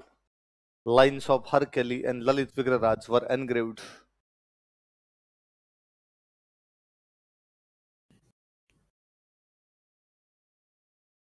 बॉक्स में बंद कर लो। ये जो लाइन लिखे हैं दो, इनको अलग से बॉक्स में बंद कर लो। विग्राज चतुर्थ अपना ग्यारह के आसपास उसकी मृत्यु हो गई। विग्राज चतुर्थ के मरने के भी 300-400 साल बाद। उसके मरने के 300-400 साल बाद। अपने राजस्थान में एक राइटर हुआ, जिस राइटर का नाम है नरपति नल है। राइटर का नाम क्या उसके दरबार में नहीं है। उसके मरने के काफ़ी साल बाद।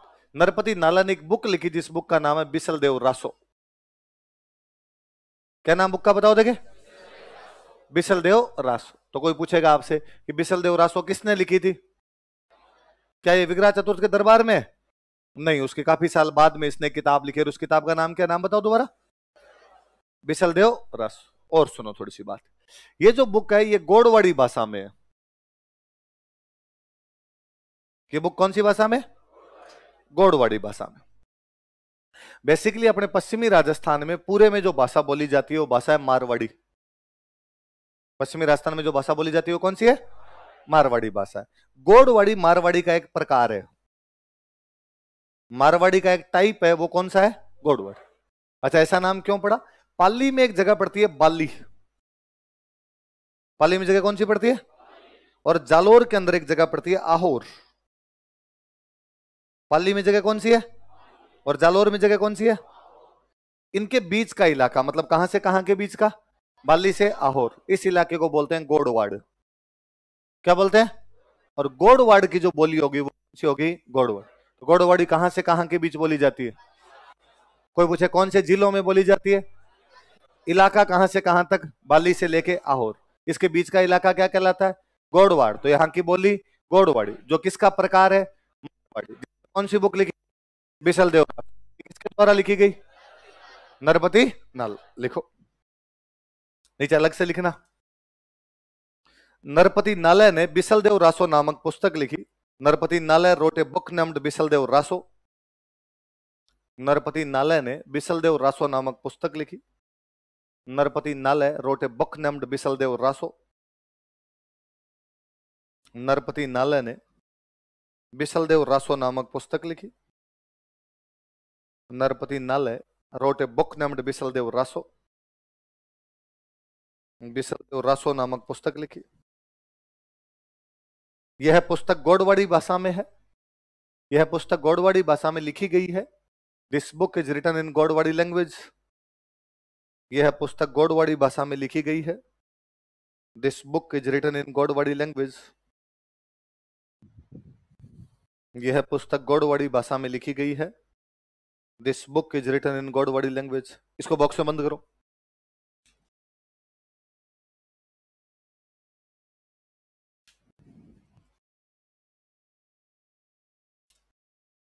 लाइन चेंज करके वापस लिखो। गोडवाड़ी मारवाड़ी की एक उपबोली है। Godwadi sub dialect of Marwari. Godwadi Marwari की एक उपबोली है। Godwadi is sub dialect of Marwari. Godwadi Marwari की एक उपबोली है। Godwadi is sub dialect of Marwari. जो कि बाली से आहोर के बीच बोली जाती है। जिलों के नाम लिख लेना कोष्टक में। जो कि बाली से आहोर के बीच बोली जाती है। Which is spoken from Bali to Ahor which is spoken from Bali to Ahor जो बाली से आहोर के बीच बोली जाती है। Which is spoken from Bali to Ahor जो बाली से आहोर के बीच बोली जाती है। Which is spoken from Bali to Ahor box में बंद करो।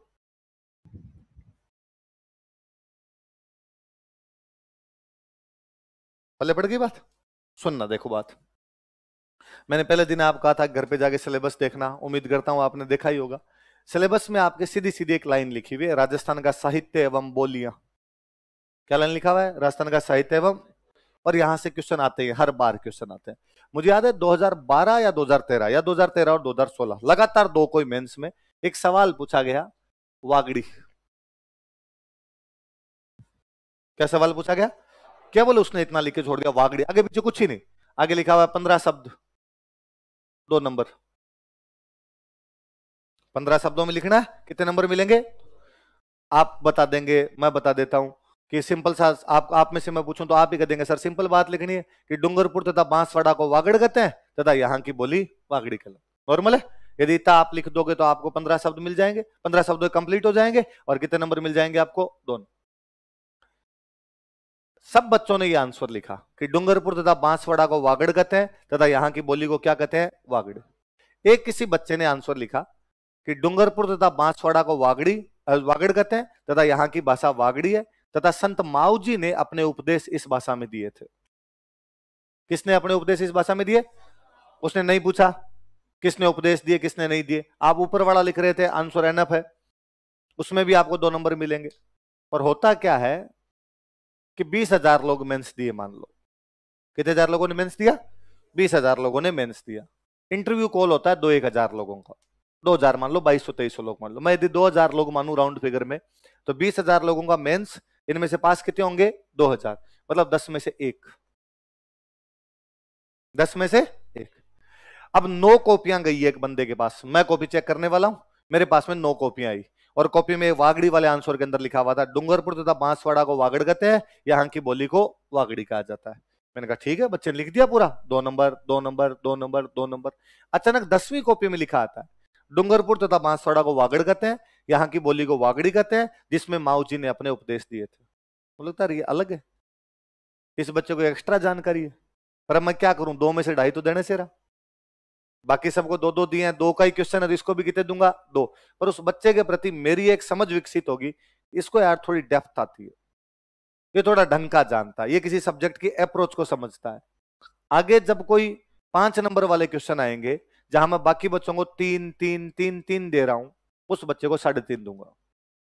यार इसका आधा नंबर उधर ज़्यादा मिलना चाहिए था, बाकियों को डेढ़ डेढ़ होने चाहिए थे इसके कितने होने चाहिए थे? दो। अपने खा गए यार आधा नंबर इस बच्चे का, इसको कितना दे दिया जाए? साढ़े कोई कह सकता है कि सर, आधे नंबर से क्या फ़र्क पड़ता है? मैं कहता हूँ, यदि एक पेपर में क्वेश्चन आते हैं चालीस, कितने क्वेश्चन आते हैं?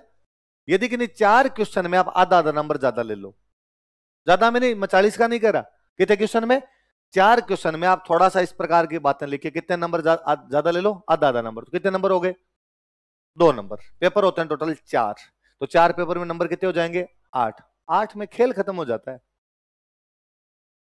आठ नंबर की वैल्यू क्या होती है? ये आपको उस दिन समझ में आएगी कि आपने इंटरव्यू दिया और इंटरव्यू देने के बाद में आपका सिलेक्शन नहीं हुआ। क्या इंटरव्यू तो दे के आए थे भाई, दो हज़ार लोग इंटरव्यू देंगे, पास हुए आठ सौ। भर्ती कितने की थी? आठ सौ की थी। और आपकी मान लो रैंक है सात सौ समथिंग आपको तो नहीं मिली कोई सीट आप बाहर हो गए, ऊपर ही भर गया आपके सिस्टम जीता था उता तब आपको समझ में आएगा, यार मेरी रैंक 700 थी और मैं बाहर हूँ इस सिस्टम से एक जो मेरा साथी जिसके मेरे से चार नंबर ज़्यादा थे। कितने नंबर ज़्यादा थे? वो सिलेक्ट है उसको नौकरी मिल गई। वो भले ही कोई कोऑपरेटिव इंस्पेक्टर लगा है, कोई फ़ूड एंड सप्लाई इंस्पेक्टर लगा है, कुछ ना कुछ उसको पोस्ट मिल गई। आपको पता चला कि जिसके मेरे से आठ नंबर ज़्यादा थे, वो तो और ऊपर है। वो तो कोई जेसीटीओ बना है, कोई एसीटीओ बना है, उस टाइप की पोस्ट मिली है। मान लो आप भी सिलेक्ट हो और आपकी रैंक आए 500 और आपको मिल रहा है कोई कोऑपरेटिव इंस्पेक्टर और आपको लगता है, यार, मेरे से जिसके आठ नंबर ज़्यादा है, वो उधर ऊपर बीडीओ में है। यदि आपको बीडीओ मिला है, तब आपको पता चला कि मेरे से जिसके आठ नंबर ज़्यादा है, वो तहसीलदार है। यदि आप तहसीलदार हो तो आपसे जिसके आठ नंबर ज़्यादा है, वो डिप्टी है। आप डिप्टी हो और आठ नंबर ज़्यादा तो आप एसडीएम हो। उस दिन से आधे नंबर की वैल्यू समझ में आती है अगर आधा नंबर क्या निकाल के देता है। अब मैं कहता हूँ, इसकी जगह वागड़ी आए नहीं। अगले दो बार वागड़ी पूछ लिया अगली बार उसने चेंज किया उसने लिख दिया गोड़वाड़ी क्या लिख दिया? सिंपल उत्तर यह बनता है, बाली से आहोर के बीच का इलाका गोड़वाड़ कहलाता है, जहाँ की बोली गोड़वाड़ी है। सिंपल उत्तर यह है, पर प्लीज़ अपने लिखना। पाली से बाली के बीच का इलाका गोड़वाड़ है, जहाँ की भाषा गोड़वाड़ी है। फिर आगे भले एक लाइन में और लिखनी पड़े, एक लाइन और खर्च करनी पड़े, पर लिखना, जो मारवाड़ी की उपबोली है, जिसमें नरपति नालय ने बिसल देव रासो लिखा था। वो भले पूछे, वो भले ही ना पूछे, अपने घुसेड़ना है। अपने उसके दिमाग में बिठाना देख, आता बहुत कुछ है, हड़के में नहीं लेना। मैं कहता हूँ, उल्टा सवाल है इसका, ये भाषा पूछी। अगला पूछे, बिसल देव रासो अगला क्वेश्चन क्या दे दे? ये गोड बड़ी दे नहीं। अगला इसकी जगह क्वेश्चन दे, बिसल देव रासो।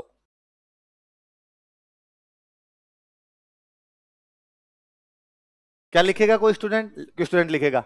नरपति नालय की एक पुस्तक, जो कि अजमेर के चौहान राजा विग्रह चतुर्थ पर लिखी गई। सबका आंसर है? आप लिखिए। नरपति नालय की अजमेर के चौहान राजा विग्रह चतुर्थ पर गोड़वाड़ी भाषा में लिखी गई पुस्तक है। बुक पूछे, भाषा बताओ। वो भाषा पूछे बुक बताओ अक्सर टाबर आगे पूछते रहते हैं कि, सर, इतने सारे लोगों को पढ़ाते हो, सबको सेम सेम पढ़ाते हो, सबके नोट सेम सेम होते हैं, फिर भी कुछ लोगों का सिलेक्शन होता है, कुछ का नहीं होता, क्यों नहीं होता? बस यही रीजन है। जिनको लिखना आ जाता है, उनके हो जाते हैं, जिनको लिखना नहीं आता, उनके नहीं होते। मैं हमेशा कहता हूँ कि जिसकी फ़र्स्ट रैंक आई और जो बाहर हो गया इंटरव्यू से, उन दोनों के ज्ञान में रत्ती भर फ़र्क नहीं है। उल्टा मत कहूँ, जिसका सिलेक्शन नहीं हुआ, उसका हो सकता है ज्ञान ज़्यादा हो। लिखना नहीं आता उसको। उस फ़र्स्ट रैंक वाले का प्रेजेंटेशन जो था लिखने का, वो अच्छा था। चीज़ों को परोसने का जो तरीका था, वो अच्छा था। आता सबको था, सबको ये चीज़ें पता थी। क्या जो सिस्टम से बाहर हुआ उसको पता नहीं था कि ये बुक कौन सी है, कौन सी भाषा के अंदर लिखी हुई वहाँ नहीं लिखे है न्याय का सिद्धांत है। न्याय हो रहा है, ये ज़रूरी नहीं न्याय होता हुआ दिखना चाहिए। दिख रहा है ना वहाँ पे, तब तो नंबर मिलेंगे, वरना आपको नंबर भले बड़ी बात है? तो छोटी छोटी चीज़ें याद रखनी है हमेशा। तो नरपति नालय की बुक का नाम क्या है? कौन सी भाषा में? जो किसकी उप बोली है? जो कहाँ से कहाँ के बीच बोली जाती? यदि आपका कोई दोस्त होगा शेखावटी साइड का तो दोस्त ऐसे बोलेगा, जास्यू, पीस्यू, खास्यू, करस्यू। यदि कोई नागौर साइड का दोस्त होगा तो जगह खा लियो, पी लियो, कर लियो। यदि कोई पाली साइड का, इस साइड का दोस्त होगा आपका, इस इलाके का, पाली जालोर साइड का, वो फिर बोले, खादो पो, पीदो पो, किदो पो। ये पो लगा लगा के जो जो पीछे बोलते हैं, इसका मतलब उनकी भाषा कौन सी है? इस बार आपके कोई दोस्त आपके पीजी में रहे, वो कभी आपको पूछे कि खानो खा दो पो? आप कहना और नरपति नल है? कौन सी किताब लिखी है? तो कौन सी किताब है? बिसल देव रास। ऐसे लड़कियाँ बोले, खादी पी, पीदी पी, किदी पी? आगे समझ में? चलो ठीक। अगला राजा लिखो। बताओ देखे, कल वाला चार्ट देखे, बताओ अगला राजा कौन होना चाहिए? अपर गांगे, कौन होना चाहिए? लिख लो तो।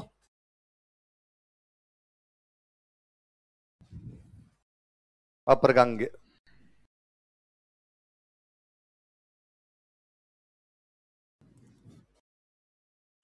देखो यह विग्राज चतुर्थ का बेटा था। He was son of Vigraj fourth यह विग्राज चतुर्थ का बेटा था। पता ही आपको? पढ़ा है हमने उस चार्ट के अंदर। यह विग्राज चतुर्थ का बेटा था। He was son of Vigraj fourth कल मैंने शायद आपको बता ही दिया था कि विग्रह चतुर्थ का बेटा बनता है, पर जगदेव वाला बेटा आगे इसको हटा देता है। बताया था? और जगदेव वाले बेटे का नाम क्या है? पृथ्वीराज? सेकंड तो लिख लो। इसे जगदेव के बेटे पृथ्वीराज सेकंड ने हटा दिया था। He was depose by Jagdev son Prithviraj. इसे जगदेव के बेटे पृथ्वीराज सेकंड ने हटा दिया था। He was depose by Jagdev son Prithviraj second इसे जगदेव के बेटे पृथ्वीराज सेकंड ने हटा दिया था।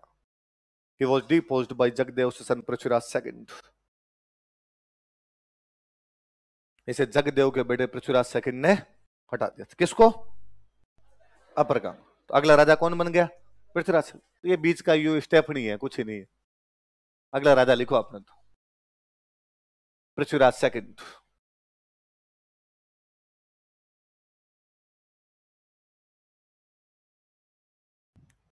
कौन है अगला राजा, बताओ देखे? पृथ्वीराज सेकंड हमने बीच में एक अभिलेख पढ़ा, हांसी। है ना? मैंने बताया था हरियाणा में एक जगह पड़ती है हांसी है ना? और वहाँ के एक अभिलेख में चौहानों को क्या बताया गया है? चंद्रोज पढ़ा था ना?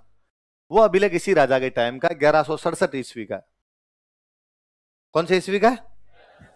कौन सा अभिलेख है? हांसी अभिलेख। उसके अंदर क्या लिखवाया इसने? एक बात तो हमने पढ़ ली उसमें लिखा हुआ है कि चौहान कौन से वंशी है? फिर ये पृथ्वीराज लिखवाता है कि मैंने हांसी में किला बनवाया है। हांसी के अंदर क्या बनवाया? किला बनवाया और इस किले की देखभाल मेरे मामा जी को सौंप दी है। मामा जी का नाम और लिखता है। मामा जी का नाम है गोहिल किलहन मामा जी का नाम क्या बताओ देखे? क्या नाम है? हांसी अभिलेख कब का है? कौन से राजा के टाइम का? यह राजा कहता है, मैंने कहाँ पे किला बनवाया? और किले की व्यवस्था किसको सौंपी है? गोहिल किलहन इस राजा के क्या लगते हैं? अपने राजस्थान में लिखने का ये भी ट्रेंड था, सरनेम पहले, नाम बाद में। गोहिल वंश है। वंशों में हमने पढ़ा था तो नाम इसका किलहन है। नाम क्या बंदे का? किलहण। गोहिल क्या है इसका? वंश। पर पहले वंश लिखते, बाद में क्या लिखते? जैसे मोहनो तो नैणसी नाम क्या उस बंदे का? मोहनो तो जाती है। तो मोहनौत पहले लिखा हमने नैणसी बाद में। वैसे गोहिल पहले लिखा किलहण, बाद लिखो। ग्यारह ईस्वी के हांसी अभिलेख के अनुसार according to Hansi inscription of eleven sixty seven AD ग्यारह ईस्वी के हांसी अभिलेख के अनुसार according to Hansi inscription of eleven sixty seven AD ग्यारह ईस्वी के हांसी अभिलेख के अनुसार according to Hansi inscription of 1167 AD इसने यहाँ पर किले का निर्माण करवाया था। इसने किसने? यहाँ कहा? इसने यहाँ पर किले का निर्माण करवाया था। He built a fort here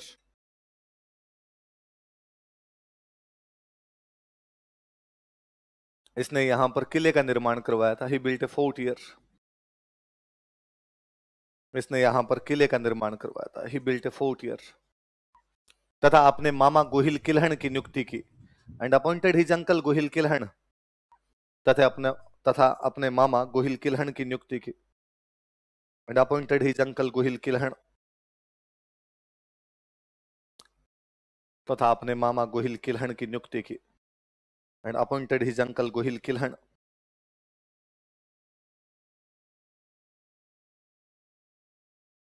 तथा अपने मामा गोहिल किलहन की नियुक्ति। किसकी नियुक्ति की? और सुनो, देखो बात। अगले साल का एक अभिलेख और मिलता है, ग्यारह ईस्वी का। कब का मिलता है? भीलवाड़ा के अंदर एक गाँव पड़ता है धोड़। कौन सा गाँव है? तो वहाँ धोड़ से अभिलेख मिला है तो नाम क्या पड़ गया उसका? धोड़ अभिलेख। कौन से राजा के टाइम का? कौन से ईस्वी का? कौन से गाँव से? और धोड़ गाँव कहाँ पड़ता है? एक शिव जी के मंदिर से अभिलेख मिला है। कौन से मंदिर से? और शिव जी के मंदिर का नाम पड़ा हुआ आजकल रूठी रानी का मंदिर। नाम क्या पड़ा हुआ उसका? लोग कहते हैं रूठी रानी का मंदिर है। मंदिर शिव जी का बना हुआ है। चौहानों के टाइम में शिव जी के मंदिर बना, स्वाभाविक सी बात। इसका मतलब है, ये मंदिर किसी रानी ने बनवाया और वो रानी राजा से होगी बाद में नाराज़। रानी राजा से क्या होगी बाद में? तो लोगों ने कहा, भाई, ये मंदिर कौन सी रानी ने बनाया जो नाराज़ होगी रानी, रूठी रानी ने बनवाया, रूठी रानी। इसलिए मंदिर का नाम ही क्या पड़ गया? कौन रानी थी जो बाद में नाराज़ होगी जो मंदिर बनवा गई? तो अभिलेख में बाकायदा रानी का नाम है, सुहाव देवी। रानी का नाम क्या? इसका मतलब है कि पहले तो ये सुहाती थी। और बाद में राजा को सुहानी बंद हो गई तो बाद नाराज़ हो गई होगी तो इसका नाम क्या पड़ गया? तो उसके एक सुहाव देवी नाम की रानी है, जिसने यहाँ पर एक शिव जी का मंदिर बनवाया है, जहाँ से हमें एक अभिलेख मिलता है। वो गाँव धोड़ है, इसलिए उसका नाम क्या हो गया? धोड़ अभिलेख। वो मंदिर बाद में रूठी रानी के मंदिर के नाम से जाना गया, इसलिए अभिलेख का नाम पड़ गया रूठी रानी के मंदिर का अभिलेख। गाँव कौन सा है? तो धोड़। मंदिर कौन सा है? तो रूठी रानी का मंदिर। रानी तो रूठी रानी बाद में होगी, उससे बाद की बात है, मंदिर का नाम पड़ गया होगा। अभिलेख क्या कहता है? अभिलेख में रानी लिखवाती है कि मेरे पति पृथ्वीराज सेकंड को उसका राज्य बपोती में नहीं मिला। कैसे नहीं मिला? बाप से नहीं मिला। ये नहीं कि बाप राज कर रहा था और बाप किसको दे गया? बेटे को। मेरे पति ने यह राज्य अपनी ताकत से प्राप्त किया है। मेरे पति ने राज्य कैसे प्राप्त किया अपने? उसने कहा हड़के में मतलब लेना। छोटी मोटी चीज़ नहीं है। उस अपर गंगे को कूट कूट के मेरे पति ने राज्य प्राप्त किया मेरे पति ने राज्य किससे प्राप्त किया है? ताकत तो कि पृथ्वीराज सेकंड अपर गंगे को हटा के राजा बना था। यह जानकारी मिलती कहाँ से? कि धोड़ अभिलेख से। कौन से अभिलेख से? भाई, एक तो होता है, भाई, पिता मर गया, पिता मर गया तो राज किसको मिल गया? बेटे को मिल गया। स्वाभाविक सी बात है। ना? या पिता राज नहीं दे गया पृथ्वीराज सेकंड को। ये अपर गंगे को हटा के राजा बनता है। इसका मतलब ताकत से बनता है? तो ये ताकत से राजा बना था, ये जानकारी कौन सा अभिलेख देता है? कौन से मंदिर से प्राप्त होता है? कौन से सन में प्राप्त होता है? क्या कहता है अभिलेख किसने अपना राज्य कैसे प्राप्त किया है? ताकत से प्राप्त किया है। और इसमें कौन सी रानी का नाम लिखा हुआ है? याद रहेगी बात? लिखो। ग्यारह ईस्वी के रूठी रानी मंदिर के दौड़ अभिलेख के अनुसार, दौड़ भीलवाड़ा में एक जगह है। ग्यारह ईस्वी के रूठी रानी मंदिर के दौड़ अभिलेख के अनुसार अकॉर्डिंग टू धूड़ Dhod inscription of Ruthi Rani temple of 1168 AD according to Dhod inscription of Ruthi Rani temple of 1168 AD ग्यारह सौ अड़सठ ईस्वी के रूठी रानी मंदिर के दौड़ अभिलेख के अनुसार, according to Dhod inscription of Ruchi Rani temple of 1168 AD. ग्यारह सौ अड़सठ ईस्वी के रूठी रानी मंदिर के धोड़ अभिलेख के अनुसार, इसने अपना राज्य ताकत से प्राप्त किया था he got his state by power इसने अपना राज्य ताकत से प्राप्त किया था he got his state by power जिसने अपना राज्य ताकत से प्राप्त किया था। He got his state by power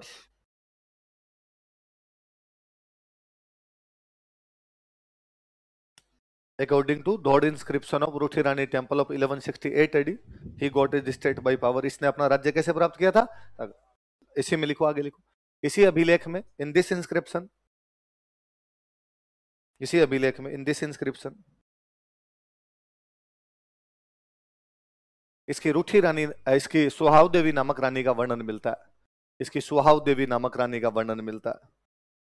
His queen named Suhav Devi is mentioned इसकी सुहाव देवी नामक रानी का वर्णन मिलता है। His queen named Suhav Devi is mentioned इसकी सुहाव देवी नामक रानी का वर्णन मिलता है। His queen named Suhav Devi is mentioned इसकी सुहाव देवी नामक रानी का वर्णन मिलता है। भीलवाड़ा में एक जगह पड़ती है मैनाल। सुना नाम? मैनाल हाँ, त्रिवेणी संगम आगे ज्योग्राफी पढ़ोगे तो बोर पढ़ोगे। वहाँ पर इसने शिव जी का एक मंदिर बनवाया अपनी सी रानी के नाम पर। रानी का नाम क्या है? सुहाव देवी। इसलिए शिव जी के मंदिर का नाम है सुहेश्वर। क्या नाम है? मैं कल परसों आपको बता रहा था जहाँ स्वर लगा हुआ है इसका मतलब मंदिर किसके हैं? पहले पड़ गई बात? तो सुहेश्वर मंदिर का निर्माण कहाँ पर करवाया गया? लिखो, लाइन चेंज करके लिखो। अभिलेख की बात होगी, लाइन छोड़ के लिखना। इसने मैनाल में सुहेश्वर मंदिर का निर्माण करवाया था। He build Suheshwar temple at Menal Menal Bhilwara में जगह इसने मेनाल में सुहेश्वर मंदिर का निर्माण करवाया था। He build Suheshwar temple at Menal इसने मेनाल में सुहेश्वर मंदिर का निर्माण करवाया था। He build Suheshwar temple at Menal Menal में सुहेश्वर मंदिर का निर्माण करवाया था। इसके स्टार लगाना? ये दो दो साल पहले सब इंस्पेक्टर वाला एग्ज़ाम था, उसका क्वेश्चन था कि पृथ्वीराज, मेनाल में सुहेश्वर मंदिर का निर्माण किसने करवाया था? किसने करवाया था? पृथ्वीराज सिंह। आरपीसी वाले क्या करते हैं? एक बार दो सवाल पूछते हैं, अगली बार उस सवाल के बना देते हैं ऑप्शन और ऑप्शन को बना देते हैं सवाल। तो एक बार तो पूछा कि मेनाल में सुहेश्वर मंदिर का निर्माण किसने करवाया? पृथ्वीराज सेकंड, अगली बार पूछेंगे, पृथ्वीराज सेकंड ने मेनाल में कौन सा मंदिर बनवाया? सुहेश्वर मंदिर बनाया अगली बार पूछेंगे पृथ्वीराज सेकंड ने सुहेश्वर मंदिर कहाँ पर बनवाया? मेनाल याद रहेगी सारी बात? अगला राजा लिखो, सोमेश्वर।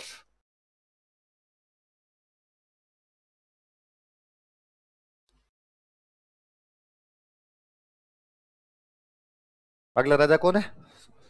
कल मैं आपको बता रहा था कि अरुणोराज की दो रानियाँ थी। एक रानी थी सुधवा और एक रानी थी कांचन। सुधवा का बेटा था जगदेव, जिसने अरुणोराज को मारा। इसलिए कांचन देवी अपने बेटे सोमेश्वर को लेकर पीहर चली गई। बताया था मैंने? पीहर कहाँ पे था उसका? गुजरात? तो सोमेश्वर का बचपन कहाँ बीता? लिख लो, इसका बचपन गुजरात में बीता था। He spent his childhood in Gujarat.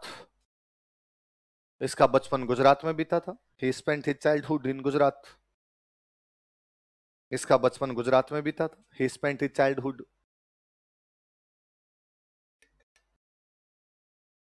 in Gujarat. बचपन कहाँ बीता था इसका? है ना आपको पूछेगा कौन से अजमेर के कौन से चौहान राजा का बचपन गुजरात में बीता था तो कौन था? तो जब ये गुजरात रह रहा था, तब इसके मामा जी राज कर रहे थे वहाँ पे। मामा जी का नाम है कुमारपाल चालुक्य। मामा जी कौन है? कुमारपाल चालुक्य, नाम पड़ा था? शक्तिशाली राजा बाबे कुमारपाल चालुक्य। कुमारपाल चालुक्य की कोंकण के राजा के साथ नहीं बनती। गोवा और महाराष्ट्र वाला जो तट है, इस तट को बोलते हैं अपने कोंकण। क्या बोलते हैं? और इस कोंकण का एक राजा जिसका नाम है मल्लिकार्जुन। कोंकण के राजा का नाम क्या? मल्लिकार्जुन नाम कहाँ का राजा मल्लिकार्जुन? किसके साथ नहीं बनती? कुमारपाल चालुक्य वो कहाँ का राजा है? कुमारपाल चालुक्य का भाणजा कौन है? और कुमारपाल चालुक्य ने सोमेश्वर को कहा कि भाणजे, वो जो मल्लिकार्जुन है कोंकण वाला, उसकी तेरे मामा के साथ बनती नहीं है। जा, लड़ गया उससे। सोमेश्वर मामा जी की आज्ञा लेके कोंकण पर आक्रमण करता है। न केवल कोंकण के राजा मल्लिकार्जुन को हराता, बल्कि उसको मार देता है। तो सोमेश्वर ने कुमारपाल चालुक्य के शत्रु को हराया था। वो शत्रु कौन है? मल्लिकार्जुन। जो कहाँ का राजा है? देखो इस कोंकण के मल्लिकार्जुन को हराया था। इसने कोंकण के राजा मल्लिकार्जुन को हराया था। He defeated Konkan king Mallikarjun. Maharashtra Goa वाला जो तट है इसको कोंकण बोलते हैं अपने। इसने कोंकण के राजा मल्लिकार्जुन को हराया था। He defeated Konkan king Mallikarjun. Konkan के राजा मल्लिकार्जुन को हराया था। He defeated Konkan king Mallikarjun. जो कि कुमारपाल चालुक्य का शत्रु था। Who was enemy of Kumarpal Chalukya. जो कि कुमारपाल चालुक्य का शत्रु था। Who was enemy of Kumarpal Chalukya. अभी तो बोल रहा था, तभी तो मामा लगेगा। बताई थी मैंने बात? जिसने अरुणोराज को हराया था और जो विग्रराज से हार गया था। दो बातें पढ़ी थी ना हमने। दोनों पढ़ी थी? वही कुमारपाल आपका। तो क्या लिखा है? जो कि कुमारपाल चालुक्य का शत्रु था वो एनिमी ऑफ़ कुमारपाल? चालु। अब ये खबरें दूर दूर तक फैली भाई। कि आजकल गुजरात वालों का एक भाणजा है और उस भाणजे का नाम है सोमेश्वर चौहान। क्या नाम है? और सोमेश्वर चौहान आजकल बहुत ज़्यादा शक्तिशाली और अभी भाई साहब, कोंकण के राजा क्या कूट के है? ये बातें धीरे धीरे पहुँची। एक चेदी का राजा था अचल राज कलचुरी चेदी का राजा कौन है? ये जबलपुर के आसपास इधर जो इलाका था मध्य प्रदेश की साइड में, इसको बोलते चेदी। क्या बोला करते? और यहाँ यहाँ पे कलचुरी वंश का शासन था। कौन से वंश का शासन था? और इस कलचुरी वंश का जो राजा उस राजा का नाम क्या है? अचल राज। क्या नाम है? कहाँ का राजा है? महाभारत देखी होगी? सुनी होगी थोड़ी बहुत? महाभारत में कैरेक्टर है शिशुपाल। कौन कैरेक्टर है? भगवान कृष्ण का मोसेरा भाई लगता है, और जिसके बारे में भगवान कृष्ण ने कहा कि जब तक निन्यानवे गलतियाँ करूँगा, तब तक तो मारूँगा नहीं, और जिसने सौवीं गलती की, उड़ा दूँगा। और जैसे शिशुपाल ने सौवीं गलती की, सुदर्शन चक्र से उड़ा दिया था उसको। पढ़ते हैं अपने? शिशुपाल चेदी का राजा था। कहाँ का राजा था? इसलिए इस बार कभी महाभारत सुनो, देखो, पढ़ो तो ध्यान देना, उसमें बोलते हैं बार बार चेदी राज शिशुपाल। कौन सा राज शिशुपाल? तो चेदी, महाभारत टाइम में चेदी का राजा कौन था? शिशुपाल। इस टाइम जब हम पढ़ रहे हैं, चैदी का राजा कौन है? और इस अचल राज कलचूरी की एक राजकुमारी है, उस राजकुमारी का नाम है कर्पूरी देवी। क्या नाम है राजकुमारी का? और अचल राज कलचूरी जो कि चेदी का राजा है, उसे अपनी बेटी, अपनी राजकुमारी कर्पूरी देवी के लिए अच्छा राजकुमार चाहिए। वो ढूंढ रहा है को अच्छा राजकुमार मिले तो राजकुमारी की शादी करे। और तभी उसे खबर मिली। कि गुजरात वालों का भाणजा है सोमेश्वर चौहान उसने अभी अभी प्री पास किया और लगा गया और कोचिंग ज्वाइन कर लिया है टेस्ट सीरीज़ रेगुलर देता है सर की सारी बातें क्लास में सुनता है। और जैसा सर कहते हैं, वैसा ही लिख के लाता है। और मेंस में सिलेक्शन भी पक्का हो जाएगा। तो उसने कहा, मैं मेरे राजकुमारी कर्पूरी देवी की शादी किससे करूँगा? सोमेश्वर चौहान तो सोमेश्वर चौहान की रानी कौन है? लिखो, रानी बराबर कर्पूरी देवी। क्वीन क्वीन बराबर लिखो कर्पूरी देवी। यही था पहले प्री एग्ज़ाम उसको हरा के आ गया। आज आपको प्री पास करना पड़ता है। तो रानी बराबर लिख लो कर्पूरी देवी क्वीन बराबर कर्पूरी देवी। और कोष्टक में लिख लो, चैदी के राजा अचल राज कलचूरी की राजकुमारी। चैदी के राजा अचल राज कलचूरी की राजकुमारी। प्रिंसेज ऑफ़ चैदीज किंग अचल राज कलचूरी। कौष्टक में लिख लेना उसी की। चैदी के राजा अचल राज कलचूरी की राजकुमारी। प्रिंसेज ऑफ़ चैदीज किंग अचल राज कलचूरी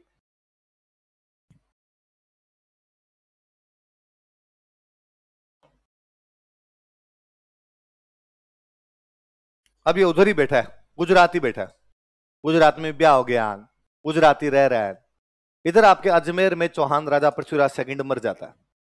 और जैसे ही पृथ्वीराज सेकंड मरा, उसके आस औलाद थी नहीं कोई। अब क्या करें साहब? तो कहा, इनको बना दो भाई, नागार्जुन, अपर गांगे। का इनमें दोनों में लखन नहीं है। अब क्या किया जाए? तो किसी मंत्री ने कहा, साहब, अपने अरुणो राज की एक रानी और थी, कंचन देवी। और कांचन देवी बेचारी वापस अपने पीहर चली गई बेटे को लेके।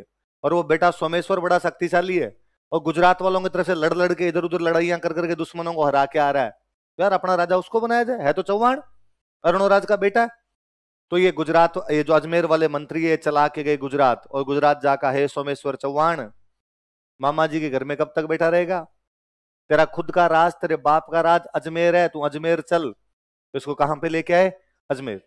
पर अजमेर आते इसने कहा कि यदि मैं अजमेर आ रहा हूँ तो अजमेर में मेरी मूर्ति लगाओ और पापा की मूर्ति लगाओ। किस किस की मूर्ति लगाई जाए? खुद की और खुद के पिताजी की। पिताजी कौन थे? तो इसने अजमेर में किस किस की मूर्तियाँ लगवाई? लिख लो। इसने अजमेर में स्वयं तथा अपने पिता अरुणोराज की मूर्तियाँ लगवाई। Installed statues of himself and his father Arunoraj. At Ajmer, इसने अजमेर में स्वयं तथा अपने पिता अरुणोराज की मूर्तियाँ लगवाई। Installed statues of himself and his father Arunoraj, at Ajmer. इसने अजमेर में अपनी तथा अपने पिता अरुणोराज की मूर्तियाँ लगवाई। अपनी तथा अपने पिता अरुण और राज की मूर्तियाँ लगवाई। बताओ, चौहान कौन से भगवान के भक्त थे? और शिव जी का एक नाम है वैद्यनाथ। क्या नाम है शिव जी का एक नाम? तो इसने अजमेर में कौन सा मंदिर बनवाया? लिख लो। इसने अजमेर में वैद्यनाथ मंदिर बनवाया। He built Vaidyanath temple at Ajmer. इसने अजमेर में वैद्यनाथ मंदिर बनवाया। He built Vaidyanath temple at Ajmer. इसने अजमेर में वैद्यनाथ मंदिर बनवाया।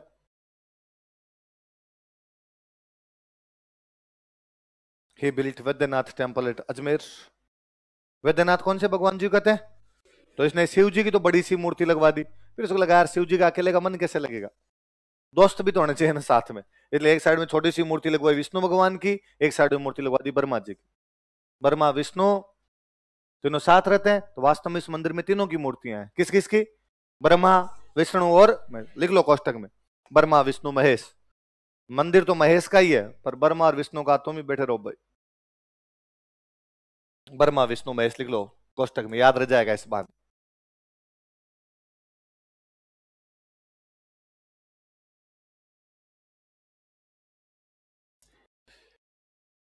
इसी के टाइम में अभिलेख लगवाया गया था आपका बिजोलिया। कौन सा अभिलेख लगवाया गया था? किसने क्यों लगवाया वो हम बता दूँगा, लिखो। इसके शासनकाल के दौरान डूरिंग हिज रिजीम इसके शासनकाल के दौरान डूरिंग हिज रिजीम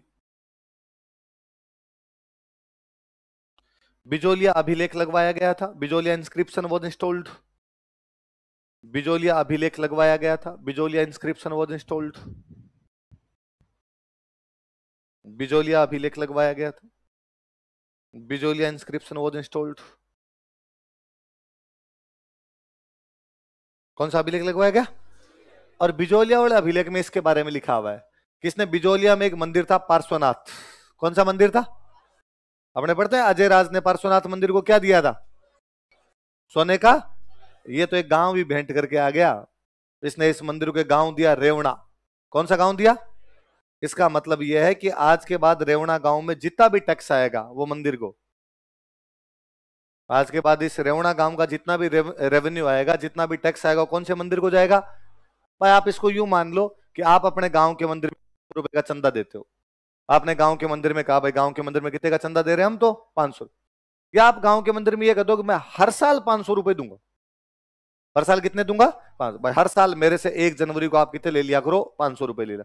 बस सेम सोमेश्वर ने कहा कि एक गाँव ये जो रेवणा नाम का गाँव है इसका जितना रेवेन्यू आएगा ये मैं नहीं रखूँगा भाई।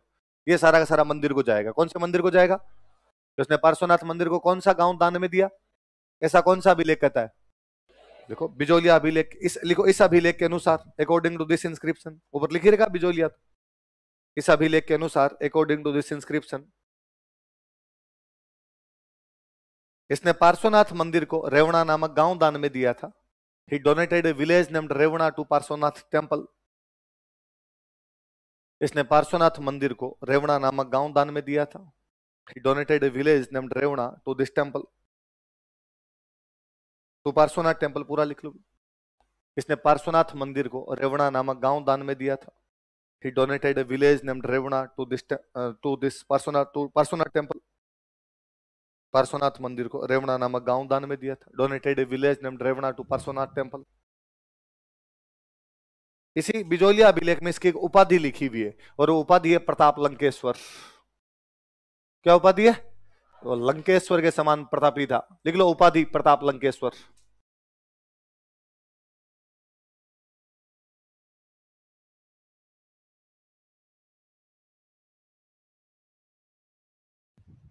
क्या उपाधि है बताओ देखे।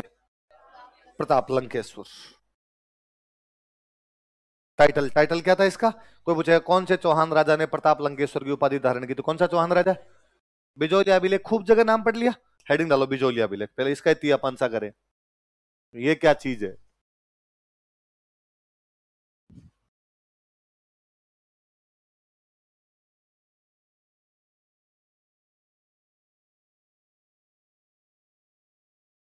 आगे लिख लो, ग्यारह सौ सत्तर ईस्वी, बिजोलिया इंस्क्रिप्शन बिजोलिया भीलवाड़ा में एक जगह पड़ती है।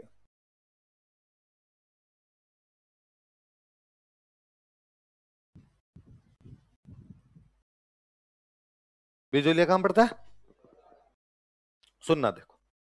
यहाँ बिजोलिया में एक मंदिर है, जिस मंदिर का नाम है पार्श्वनाथ।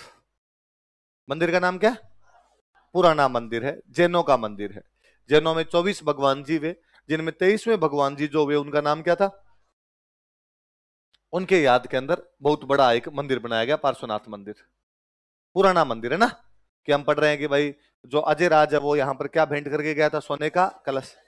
पुराना मंदिर था। सोमेश्वर के टाइम में क्या हुआ? सोमेश्वर के टाइम में यहाँ पर एक जैन थे, दिगंबर जैन थे। जैनों में दो ब्रांच होती है। एक तो दिगंबर और एक श्वेता एक दिगंबर जैन थे उनका नाम था लोलाख। दिगंबर जैन थे, उनका नाम क्या था? लोलाक नाम करके दिगंबर जैन थे। उन्होंने यहाँ इस मंदिर में कुंड बनवाया। क्या बनवाया? पानी का टैंक। कुंड बनवाया पानी का टैंक बना। आप ये मान लो भाई, आपके गाँव के अंदर स्कूल है, आप जाके कह दो भाई, यहाँ वाटर कूलर में दे रहा हूँ। देते हैं लोग अब भी और वाटर कूलर के ऊपर लिखवाते हो। रहे साहब ये बच्चों के पाने के लिए सेठ कल्याण दास द्वारा दिया गया। जिसने भी लिखवाया, या ये भामासा फलाने फलाने द्वारा हमें प्रदान किया गया। लिखवाते हैं? तो एक सेठ है, उस सेठ का नाम क्या है? लोलाक, जो कि कौन सा जैन है? दिगंबर। उसने मंदिर में क्या बनवाया? तो उसने कुंड बनवाने के बाद यहाँ पर अभिलेख लगवा दिया। कुंड बनाने के बाद क्या लिखवा दिया? वो जो अभिलेख है, उस अभिलेख को हम किस नाम से जानते हैं? तो कौन से मंदिर में? किसने लगवाया? क्या बनाने के बाद लगवाया? और सुनना देखो। इस अभिलेख की रचना करने वाला जो बंदा है, उस बंदे का नाम है गुणभद्र। क्या नाम बंदे का? गुणभद्र ने इस अभिलेख की क्या की? रचना कंपोज किया। इसको लिखने वाला जो बंदा है, उसका नाम है केशव। लिखने वाले बंदे का नाम क्या? मैं बताऊँगा अभी क्या फ़र्क होता है। इसको जो खोदने वाला बंदा है, इसका जो उत्कीर्णक है, उसका नाम है गोविंद। क्या नाम है उसका? रचना करने वाला कौन है? क्या नाम है? गुणभद्र। लेखक कौन है? और इसका उत्कीर्णक कौन है? लगवाने वाला कौन है? लिखवाने वाला लोलाक, रचना करने वाला गुणभद्र लिखने वाला केशव, उत्कीर्णक। मैं बताता हूँ क्या नोट्स लिख रहे हो आप चार दिन से? आज चौथा दिन है। नोट्स लिख रहे हो? इनका रचनाकार मैं हूँ। इनका रचनाकार मेरे दिमाग में मैं बोल रहा हूँ। आप लिख रहे हो? आप लेखक हो। मैं क्या हूँ इनका? रचनाकार। आप क्या इनके?